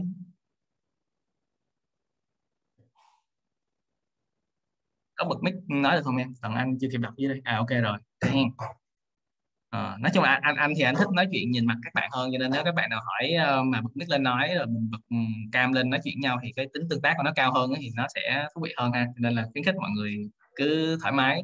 Và dù sao thì cái cái năng như nói trong cái topic hôm nay là về kinh nghiệm đúng không? Thì nó có một cái kinh nghiệm nói chứ đám đông chẳng hạn hoặc là kinh nghiệm mà tự tin phát biểu hay là thẳng thắn gì đấy đó nó trong những cái phần kinh nghiệm quan trọng thì mọi người có thể tập nó cái đó đơn giản là thông qua những cái hội thảo sự kiện mình tham gia vào á. Tại vì mình đã tham gia là mình thực sự đang dành thời gian không? Ai cũng đang bỏ thời gian vào. Chúng ta muốn đạt được cái điều gì đấy. Thì nếu chúng ta cứ tự tin với cái điều mà chúng ta đang nói, chia sẻ ra không cần phải ngại hay là không cần phải nghĩ là người khác nghĩ gì về mình. Không cần phải trong trạng thái là sợ mất thể diện. Thì đó là những điều tạo nên nền tảng của một người lãnh đạo. Cho nên là nếu mà các bạn có thể được tập được cái điều đó từ cái việc là tham gia những hội thảo, sự kiện gì đấy, mình cứ mở cam mở mic mình nói chuyện chia để chia sẻ với mọi người thì cái đó là một cái rất là hay ha. Rồi. Câu hỏi kế tiếp của Hào. À, khi mình có điểm yếu về một kỹ năng và rất cố gắng cải thiện nhưng vào thời điểm hiện tại cảm giác mệt mỏi và buồn cho em hỏi là có những cách nào để cải thiện và loại bỏ đi năng lượng tiêu cực? Rồi ok. Um, cái câu hỏi của em á, nó nó liên quan đến một cái cũng là năng lực hay gọi là kỹ năng nó nó thuộc vào năng lực và nó thuộc vào nhóm kỹ năng lãnh đạo. Uh, tức là giai đoạn đầu như em là sinh viên thì em sẽ chưa có được cái năng lực này cho nên là uh, nếu mà theo cái lời khuyên chung chung á lời khuyên chung chung sách vở hay là em hỏi câu này với nhiều người người ta sẽ khuyên rất nhiều những thứ chung chung thì em có thể áp dụng có cái được có cái không. Uh, anh sẽ đưa cho em hai hai thứ ha.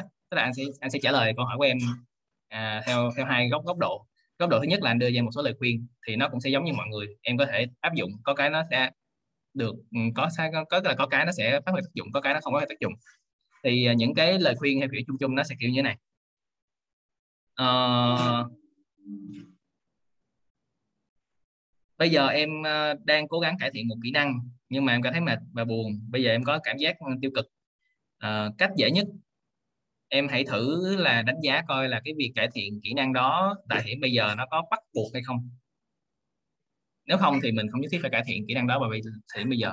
À, mỗi người đều có không gọi là điểm mạnh điểm yếu nữa. Mỗi người đều có những cái uh, điểm nổi bật và điểm chưa hoàn thiện.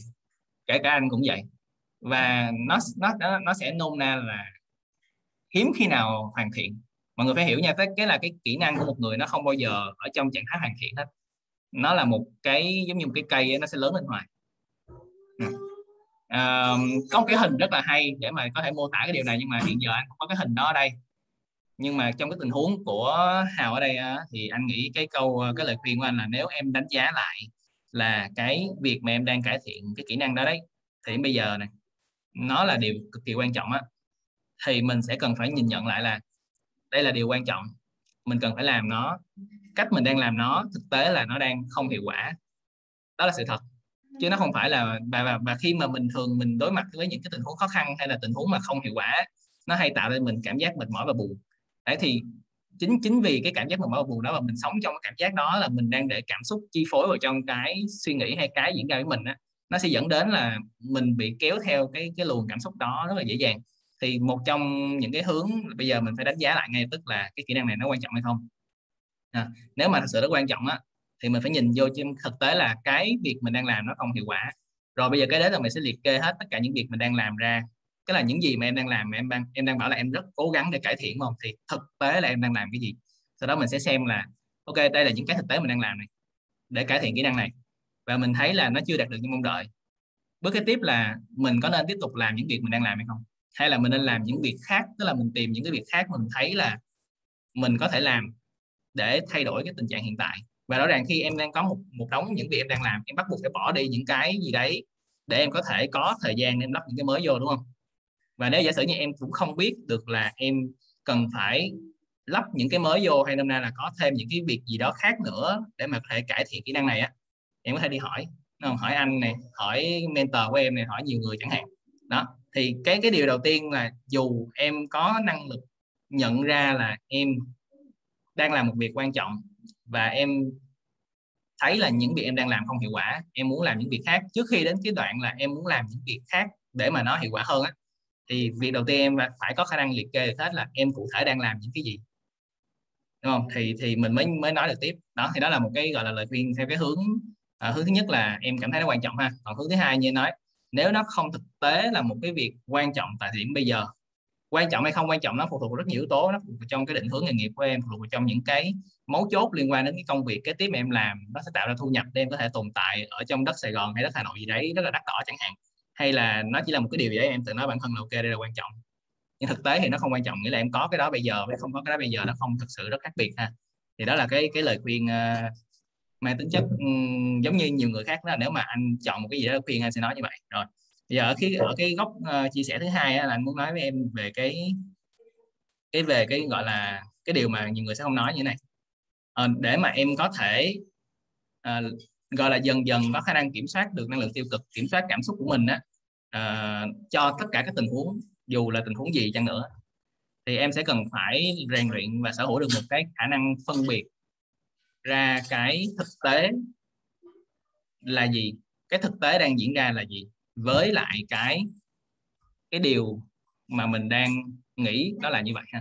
Nó, nó giống giống với tình huống của hiếu nãy là nó nó nằm trong cái nhóm năng lực như vậy ha. Cái năng lực đó là khi mình có mình có bất cứ việc gì xảy ra với mình dù là nó tốt hay nó không tốt mình luôn có khả năng nhìn ra được và mình luôn luôn nói được với bản thân là à sự thật nó là như vậy.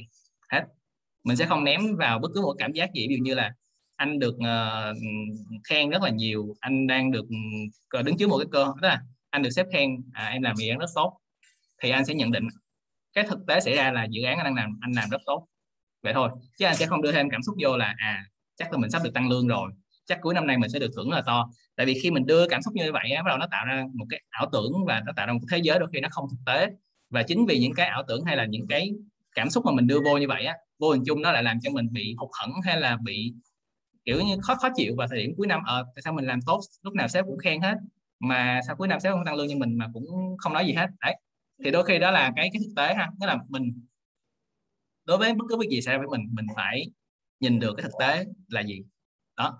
Thì cái thực tế là gì và có khả năng loại bỏ hay là không thêm cái yếu tố cảm xúc hay yếu tố nhận định hay là yếu tố feeling vào á là một cái điều rất là khó để thực hiện được và nó cần phải rèn luyện qua thời gian.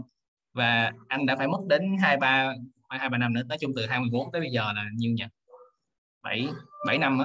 Bảy năm rồi tới bây giờ vẫn đang tiếp tục cải thiện cái khả năng đó, nghĩa là gần như tất cả mọi thứ xảy ra với anh á, anh có thể dễ dàng, nó nó nó vẫn còn ảnh hưởng về mặt cảm xúc, nhưng mà nhanh lắm, thường trong khoảng một tiếng đồng hồ là anh có thể nói được là à thực tế là vậy đó hết. Bây giờ nó đang là vậy, mình đang làm gì để nó là như vậy? Mình đang không làm gì để nó như vậy. Vậy thì bây giờ mình nên làm gì? Hết. Đó thì đây đấy nói thì ở góc độ anh nói thì có thể bây giờ em sẽ chưa cảm nhận được hết được. Nhưng mà đó là một cái uh, kỹ năng quản lý ha. Nó nó thuộc về kinh nghiệm quản lý và nó sẽ cần phải bồi dưỡng theo thời gian. Uh, và cái cái cái môn mà em học là môn uh, quản lý cảm xúc đó, nó là bước đầu tiên để em có thể rèn luyện kỹ năng này. Tức là em dần dần làm quen với việc là khi em có cảm xúc tiêu cực thì em sẽ chèn một tư duy vào đầu là chuyện gì đang xảy ra. Em có thể lấy tờ giấy cái bút ra em ghi xuống thực tế là chuyện đang xảy ra là như thế này. Rồi, nếu trong quá trình em ghi xuống mà em thấy là có những tính từ mang tính chất cảm xúc, em có thể gạch bớt đi, thì cuối cùng em sẽ còn là một cái phiên bản đơn giản là đây là điều đang xảy ra. À. ví ví dụ như cái cái gọi là kỹ năng em rất cố gắng cải thiện nhưng mà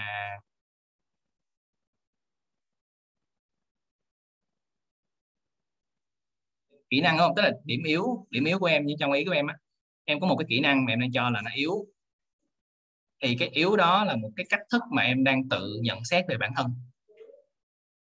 Ừ. em nên thay cái chữ yếu đó thành một cái gì đó cụ thể hơn. Em đang có kỹ năng à kỹ năng đó nó đang là như thế này. Tức là anh nói ví dụ kỹ năng uh, nếu mà hào có thể chia sẻ thêm cụ thể hơn tí được không? Để anh nói cho nó cụ thể chút nói chung chung hơi khó. Cái cái mà em đang nghĩ dạ, là yếu thể là ờ, kỹ năng đọc và viết tiếng Anh á dạng tiếng Anh đó. à ok rồi. Đọc và viết tiếng Anh. Đọc và viết tiếng Anh kỹ năng ngôn ngữ nó nằm trong nhóm kỹ năng mà cái khái niệm gọi là cái learning curve hay là cái đường học của nó nó có một cái quy luật nhất định là em không thể nào giỏi nó trong một thời gian ngắn được. À, cái này trong em à, hào học tới môn ờ, môn môn học cách cái phương pháp học rồi đúng không? Dạ rồi ạ. Dạ em biết à, nó là đường lên đúng rồi. nhưng mà em thực hiện nó Ờ, cảm giác đánh giá sau một tháng em thấy nó là nó vẫn y ạch y ạch tại một chỗ nó không có phát triển. Đúng rồi đấy. Đó là đó là cái cái mà anh anh nghĩ là nhận định nó nó, nó sẽ chính xác hơn so với cái cái cái gọi là tức là cái cái cái mà em mới nói ra nó là thực tế đó. em đã làm anh anh chưa nói sâu hơn này anh chỉ nói anh nghĩ là mình không nên nói quá quá quá sâu cái chủ đề này đây nhưng mà anh sẽ nói tới đây thôi nè. Cái mà điều em mới nói là em đã thực hiện cái gì đấy sau một tháng và hiện giờ là kỹ năng của em nó vẫn đang y như cũ đó là thực tế. Ừ. bước kế tiếp em có thể đánh giá lại là thực tế ra trong một tháng đó em đã làm những hành động gì trong thời gian bao lâu vào lúc nào với ai như thế nào. Đây là đây là, đây là áp dụng critical thinking á bắt đầu áp dụng lại môn uh, tư duy phản biện ha. Em tự đặt ra câu hỏi bản thân để em em nhìn thấy được là thực tế thì một tháng qua em đã đã làm gì? Đúng không? Thì em có thể đưa ra một cái kế hoạch cho tháng kế tiếp là em sẽ làm khác đi. Thì anh tin là chỉ cần làm những bước nhỏ như vậy thôi á, sau một thời gian, kỹ năng của em nó sẽ tốt lên. Mặc dù nói như vậy nghe có vẻ an ủi. Nhưng thực tế như anh nói đó bản chất của việc học ngôn ngữ nó không phải là sau một tháng. Nó sẽ là sau một khoảng thời gian theo đúng cái learning curve của nó. Và việc mà người ta có thể thoát ra hay nôm na là lên được cái đỉnh cao của learning curve về việc học ngôn ngữ hay không á nó đòi hỏi và trong cái việc mà mới nói là em nhận định được ra là em đã đang làm cái gì trong một tháng và em thay đổi nó như thế nào. Rồi, vậy ha. Thì có thể mình sẽ chia sẻ thêm cái chủ đề này. Anh sẽ nói nói thêm một cái cái topic webinar riêng hoàn toàn liên quan đến, gọi là, phương pháp học và cách thức để mà, gọi là, đạt được những cái kế hoạch mà mình đề ra hay là kỳ vọng như thế nào. Tại vì đôi khi mình đang đưa ra một cái mục tiêu mà nó rất chung chung hoặc là nó không thực tiễn á thì em có làm một tháng em có tức là em nói ví dụ như em đưa ra mục tiêu rất rất là phi thực tiễn luôn đó là nếu anh là người nghe mục tiêu của em anh sẽ nói ngay với em là mục tiêu đó không bao giờ đạt được hết. Vì những lý do rất cụ thể như thế này vì nó có quy luật như thế này vì nó có những rào cản vì năng lực của em như thế này vân vân. Đấy. Thì khi mà em không có ai nhận xét cho em biết được là mục tiêu của em nó thực tiễn không em bám theo cái đó thì em sẽ rất dễ rơi vào trạng thái là em làm hoài nó không xong. Em tự em cảm thấy áp lực tự em cảm thấy buồn. À, rồi ok mình sẽ nói về chủ đề đó. Nó là một chủ đề cũng rất là hay anh sẽ nói riêng một webinar khác rồi Dạ cảm ơn à, anh rất nhiều ạ. À. Ừ, ok. Anh có thể cho em một động lực để học tiếng Anh không? à, đây, đây là một động lực rất cơ bản. Khi khi em học tiếng Anh á, à, Dương ơi, em có thích đi du học nhỉ? Đầu tiên em thích du học không? Rõ ràng là nếu em thích du học, em thích trải nghiệm một cái văn hóa khác. Ai cũng chỉ sống một lần thôi. Nếu mà em không học tiếng Anh thì làm sao mình có thể du lịch nước ngoài được đúng không? Mình có thể có những cơ hội trải nghiệm văn hóa khác, đúng không? Làm trong môi trường khác. Đó, đó là cái cái lý do thứ nhất à, là một cái lý do khá là chung chung ờ, mà anh nghĩ nhiều người cũng có. Cái thứ hai là ờ, nói như thế này Việt Nam mình đang hội nhập tốc độ rất là nhanh. Và trong thời gian sắp tới thì giống như em thấy trong quá khứ thì tiếng Anh nó là một cái lợi thế cạnh tranh khác biệt. Nhưng bây giờ thì hết các trường đang đưa ra một cái chuẩn tiếng Anh đầu ra tương đối là anh đánh giá là thấp nhưng mà nó cũng phù hợp. Bởi vì đất nước mình nhiều vùng miền á không phải chỗ nào cũng có điều kiện học tiếng Anh nó nó tốt cho nên là mình đưa ra một cái chuẩn đầu ra của các trường đại học thì nó cũng đang tạm tạm chấp nhận được. Nhưng mà dần dần qua thời gian anh nghĩ là không không lâu nữa đâu. Khi mà cái này thật ra anh nói này hơi hơi phiến diện, anh không nhận, anh sẽ không nhận định về cái vấn đề là lâu hay mau ha. Tại vì nó liên quan đến phát triển kinh tế nói chung. Nhưng mà cái tiếng Anh anh tin là nó sẽ trở thành một trong những cái điều hiển nhiên khi em đi làm. Nghĩa là người ta sẽ không có đi phỏng vấn tiếng Anh em nữa. Người ta sẽ assume là em có khả năng dùng tiếng Anh trong bối cảnh kinh doanh tức là em không phải kiểu IELTS 89 89 chấm hay là tối kiểu 900 mấy để đi làm, mà em có khả năng dùng được tiếng Anh khi em đi làm. Ở đây có nghĩa là em dùng vừa đủ. Trong cái môi trường của em, mọi người xung quanh em nói chuyện tiếng Anh ở cái level nào đấy không có quá advanced, thì em chỉ cần đến ngang level đó em có thể dùng được là ok. Đấy. Thì nó là một cái điều mà sẽ trở thành hiển nhiên trong tương lai, cho nên là em nên học. Cái thứ hai á ờ, rất nhiều những cái mà anh đang chia sẻ, đang đào tạo tại dưới đây ở Việt Nam là vì anh muốn thu hẹp cái khoảng cách về ngôn ngữ cho rất nhiều người, đặc biệt là các bạn xuất thân ở những cái tỉnh mà cái điều kiện phát triển tiếng Anh nó không có cao. Còn với bất cứ bạn nào mà gặp anh mà anh hỏi câu đầu tiên là em tiếng Anh tốt không? Em, anh bạn ấy trả lời tiếng Anh tốt anh sẽ không bao giờ dạy gì cho bạn ấy hết á. Anh sẽ đưa cho em một loạt các cái thư viện hay là cái đường dẫn hay là cách thức bạn ấy search Google để bạn ấy tự học. Tại vì khi em có thể biết được tiếng Anh, em sẽ mở ra một cái thế giới tri thức mà gần như vô tận và em có thể học từ những người giỏi nhất. Cái cái mà phát triển anh nhanh nhanh nhanh tới bây giờ. Tức là nôm na cái, cái con đường mà anh đi tại sao nó rất là ngắn? Anh phát triển rất là nhanh anh đạt được rất nhiều thành tựu. Đơn giản là vì anh đầu tư vào tiếng Anh ngay từ đầu. À, à, mặt một khía cạnh khác là anh có điều kiện. Nhưng mà nó cho phép anh tiếp cận được với những nguồn tri thức từ những người gọi là chuyên gia đứng đầu trên toàn cầu luôn. Nghĩa là anh học từ một người giỏi nhất trên thế giới chứ anh không học từ ông giỏi nhất ở Việt Nam. Cho nên là đôi khi anh học như vậy á cái độ khó cũng như là độ phức tạp của nó hay là những cái tầm kiến thức của nó rất là rộng. Nhưng mà khi mình học như vậy xong á mình có khả năng đúc kết và rút lại làm những cái thực tiễn áp dụng ở đất nước của mình phù hợp với đất nước của mình. Đấy thì cái tiếng Anh nó sẽ mở ra em ra cho em một cái thế giới nó rộng hơn rất là nhiều. À, thì anh nghĩ là em nên em nên học. Kiểu gì cũng nên học á. Hiện giờ gặp ai anh cũng sẽ nói là nếu các bạn là sinh viên năm nhất uh, các bạn nên tập trung thời gian học tiếng Anh nhiều thì tự nhiên mình ra trường mình thấy cuộc đời của mình nó sẽ khác nhiều luôn á nó khác biệt hoàn toàn luôn á. À. rồi ok anh à, anh không biết là cái câu hỏi đó cho Dương nó có thỏa mãn hay không nhưng mà cái câu mà em hỏi là một động lực để học tiếng Anh thì anh nghĩ là lát hồi ờ, nếu mà Dương có uh, các bạn ở đây nè các bạn ở đây đều có thể chia sẻ một ý cho Dương. À, có rất nhiều động lực anh tin là như vậy. Rồi à, anh ơi có một cái câu là à, Dương có gì muốn nói không Dương? Dạ, em cảm ơn ạ. à, em nói hơi bé anh nghe là em cảm ơn anh đúng không? À, nói chung là anh có thể hướng dẫn em cách học tiếng Anh cho nên có thể uh, để lại thông tin hay là nó hồi cái gì uh, nhắn sau ha mình bàn sau được. Nói chung học tiếng Anh nếu em thích thì anh có thể cho em cách thức học để em đi từ từ. Rồi. Uh, anh ơi khi mình chỉ còn thời lượng có giới hạn cho nên là anh sẽ trả lời thêm hai câu hỏi nữa nha. À, rồi sau đó các câu hỏi đây là anh sẽ trả lời câu hỏi được đặt ra vào lúc 2 giờ 54 của bạn Thảo này. Sau đó câu hỏi lúc 2 giờ 59 của bạn Ngân này. À, và từ câu hỏi uh, của bạn Kim Quý lúc 3 giờ thì mình sẽ không trả lời kịp. Nên là sẽ có gì bên anh sẽ ghi nhận lại và sẽ đúc kết trả lời các bạn sau hoặc là mình sẽ có webinar khác có liên quan rồi mời các bạn tham gia ha um, cái câu hai câu kế tiếp của mình ha. Anh ơi khi định hướng vào Big Four thì anh có đi học các chứng chỉ không? Nếu có thì anh học ở trung tâm nào? Ok cái này rất là thú vị ha. À, anh sẽ không trả lời cái câu cụ thể là em có nên đi học các chứng chỉ hay không. À, cái đó là quyền quyết định của em nhưng mà đây là chia sẻ đây nó cá nhân nha. Cá nhân của anh nhận thấy ở Việt Nam mình á những cái cái gọi là mức độ áp dụng các cái kiến thức quốc tế đặc biệt trong ngành kế toán tài chính như kiểu chứng chỉ ACCA á, nó còn khá là thấp. Tức là em học cái đó nó là một sự đầu tư dài hạn cho tương lai của em và nó giúp em phát triển sự nghiệp ở nước ngoài. Còn nếu em xác định là em tức là em cũng chưa rõ lắm là em có phát triển ở nước ngoài hay không mà em chỉ nghĩ là em sẽ làm lòng vòng ở Việt Nam á, thì em học cái đó nó sẽ không thực sự tạo ra khác biệt nhiều. Và cái cái từ Big Four cũng là một cái rất là hay nè. Cái này là thực tế là anh đã có rất nhiều những cái đồng nghiệp là anh chị á là làm ở Big Four anh bảo là Big Four là thế giới màu hồng lắm biết Four là thế giới rất là lý tưởng là nhưng mà một môi trường kỳ tốt. Là khi mà mới ra trường á, nó có ba loại môi trường. Môi trường cực kỳ khốc liệt môi trường à, màu hồng và môi trường cực kỳ chán nản cực kỳ cùi bắp cực kỳ kiểu kiểu chẳng muốn làm luôn á. Đấy thì biết Four là cái môi trường ở giữa này nó cực kỳ màu hồng nó cực kỳ thân thiện không có nhiều chính trị nó là tạo điều kiện phát triển tốt nhất cho mọi người luôn. Thì nó sẽ tạo ra cái điểm bắt đầu tốt cho hầu hết sinh viên là các bạn có được một cái điểm ở giữa nhưng mà khi các bạn ở đó lâu á các bạn sẽ quên mất là thế giới ngoài kia hoặc là rất khắc nghiệt hoặc là nó rất kiểu rất kiểu là nhàn hay kiểu không có gì để làm hay kiểu rất là cùi bắp kiểu vô vô vô vậy ha. Đấy thì cái cái cái việc thi biết for trả lời cho hỏi em là tốt. Và em muốn thể hiện được là em pass được Big Four theo như các anh chị ờ, bên ngành kế toán kiểm toán chia sẻ thì chắc chắn thường các anh chị sẽ chia sẻ là em nên học một cái bằng chứng chỉ gì đấy liên quan đến CCA, rồi CPA, CMA gì đấy. Thì cái đó cũng là một lời khuyên đúng chứ không sai.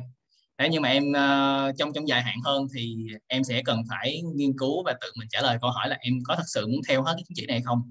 Bởi vì nó rất là dài và mức độ ứng dụng ở Việt Nam rất là thấp. Ha rồi.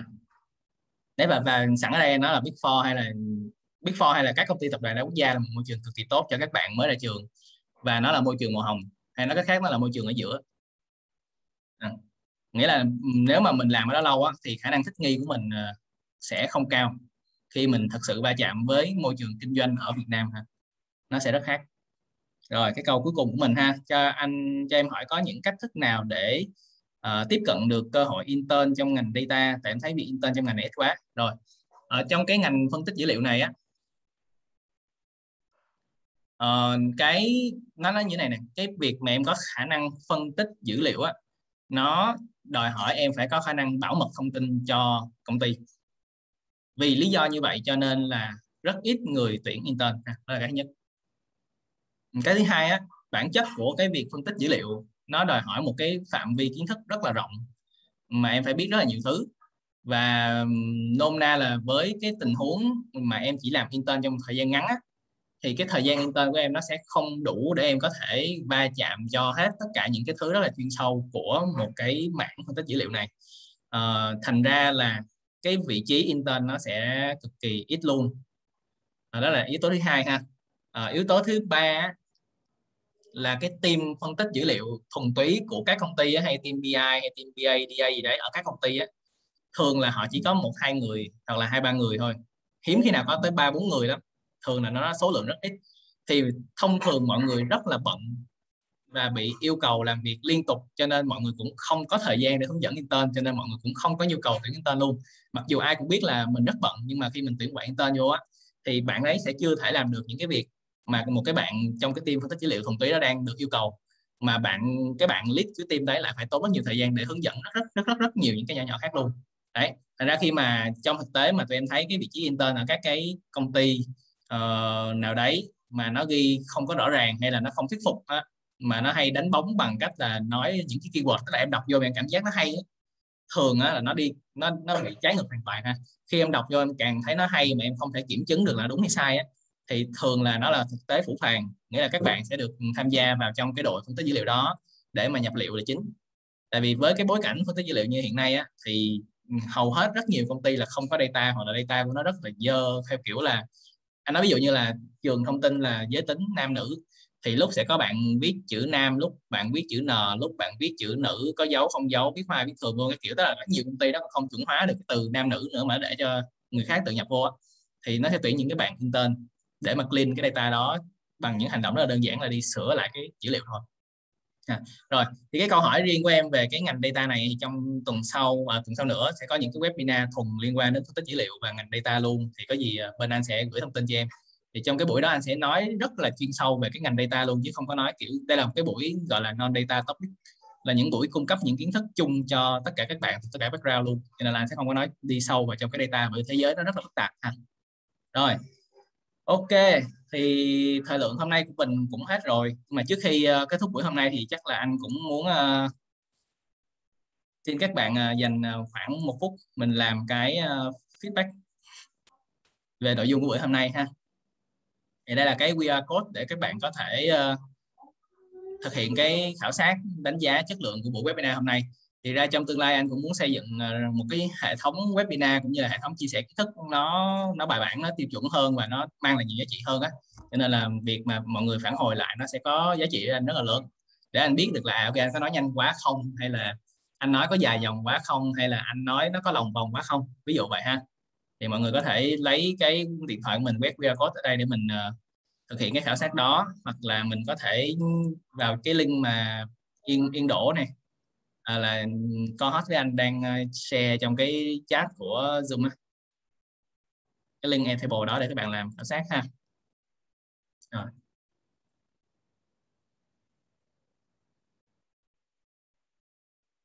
Đây ha đây là link đây là cái QR code để các bạn có thể thực hiện khảo sát rồi. Hoặc là cái link ha, link trên chat của zoom.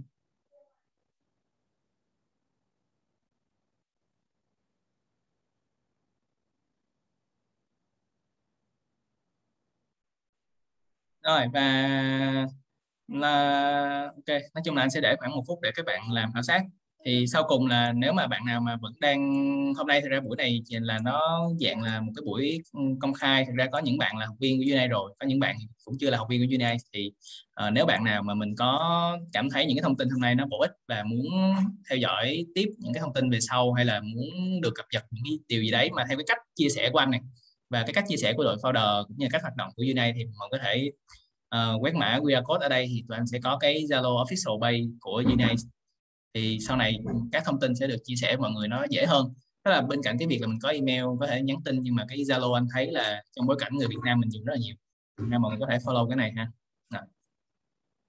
Đấy, và rất là cảm ơn tất cả các bạn đã tham gia buổi hôm nay. À, rất là đúng giờ. Tức là anh anh không biết chính xác là là mấy bạn vô lúc nào nhưng mà so với số lượng đăng ký mà khoảng hơn 30 35 bạn tham gia và anh có thể start vào đúng khoảng 2 giờ 2 giờ năm là một cái điều à, cực kỳ nói chung là anh rất thích mọi thứ nó start đúng giờ, nó nó nó được bắt đầu đúng vì các bạn có ý thức, tức là các bạn tham gia buổi hôm nay anh đánh giá rất là cao về ý thức tôn trọng dị giấc của người khác.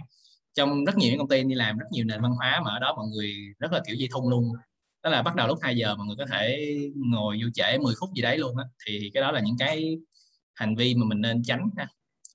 Rồi, thì cuối cùng thì nếu mà bạn nào đã hoàn thành xong cái khảo sát rồi và không có uh, đầu tiên là bạn nào mà có câu hỏi thắc mắc gì mà cảm thấy còn muốn hỏi á, và muốn được giải đáp thêm á, thì qua cái link khảo sát đó nó cũng có cái chỗ cho bạn hỏi đặt câu hỏi ha. Khi mình hoàn tất khảo sát xong thì mình có thể ờ, rời cái buổi hôm nay.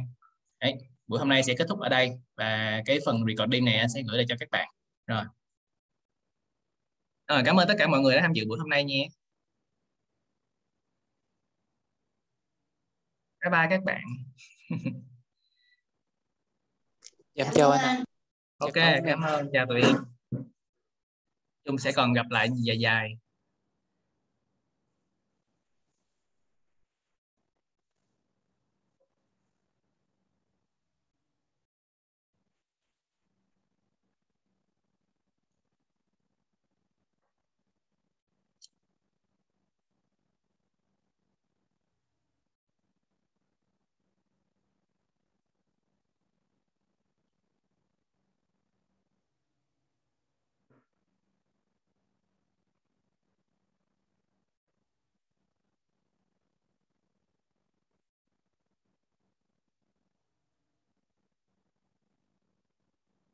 Yeah, cảm ơn các bạn.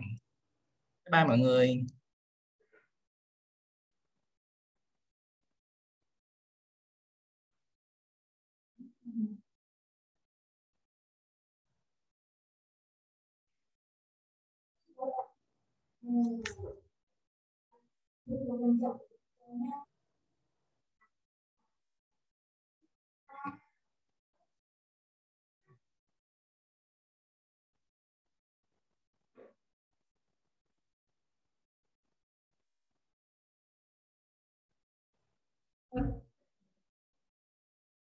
Bye tất cả nhé Anh Encol nhé mọi người.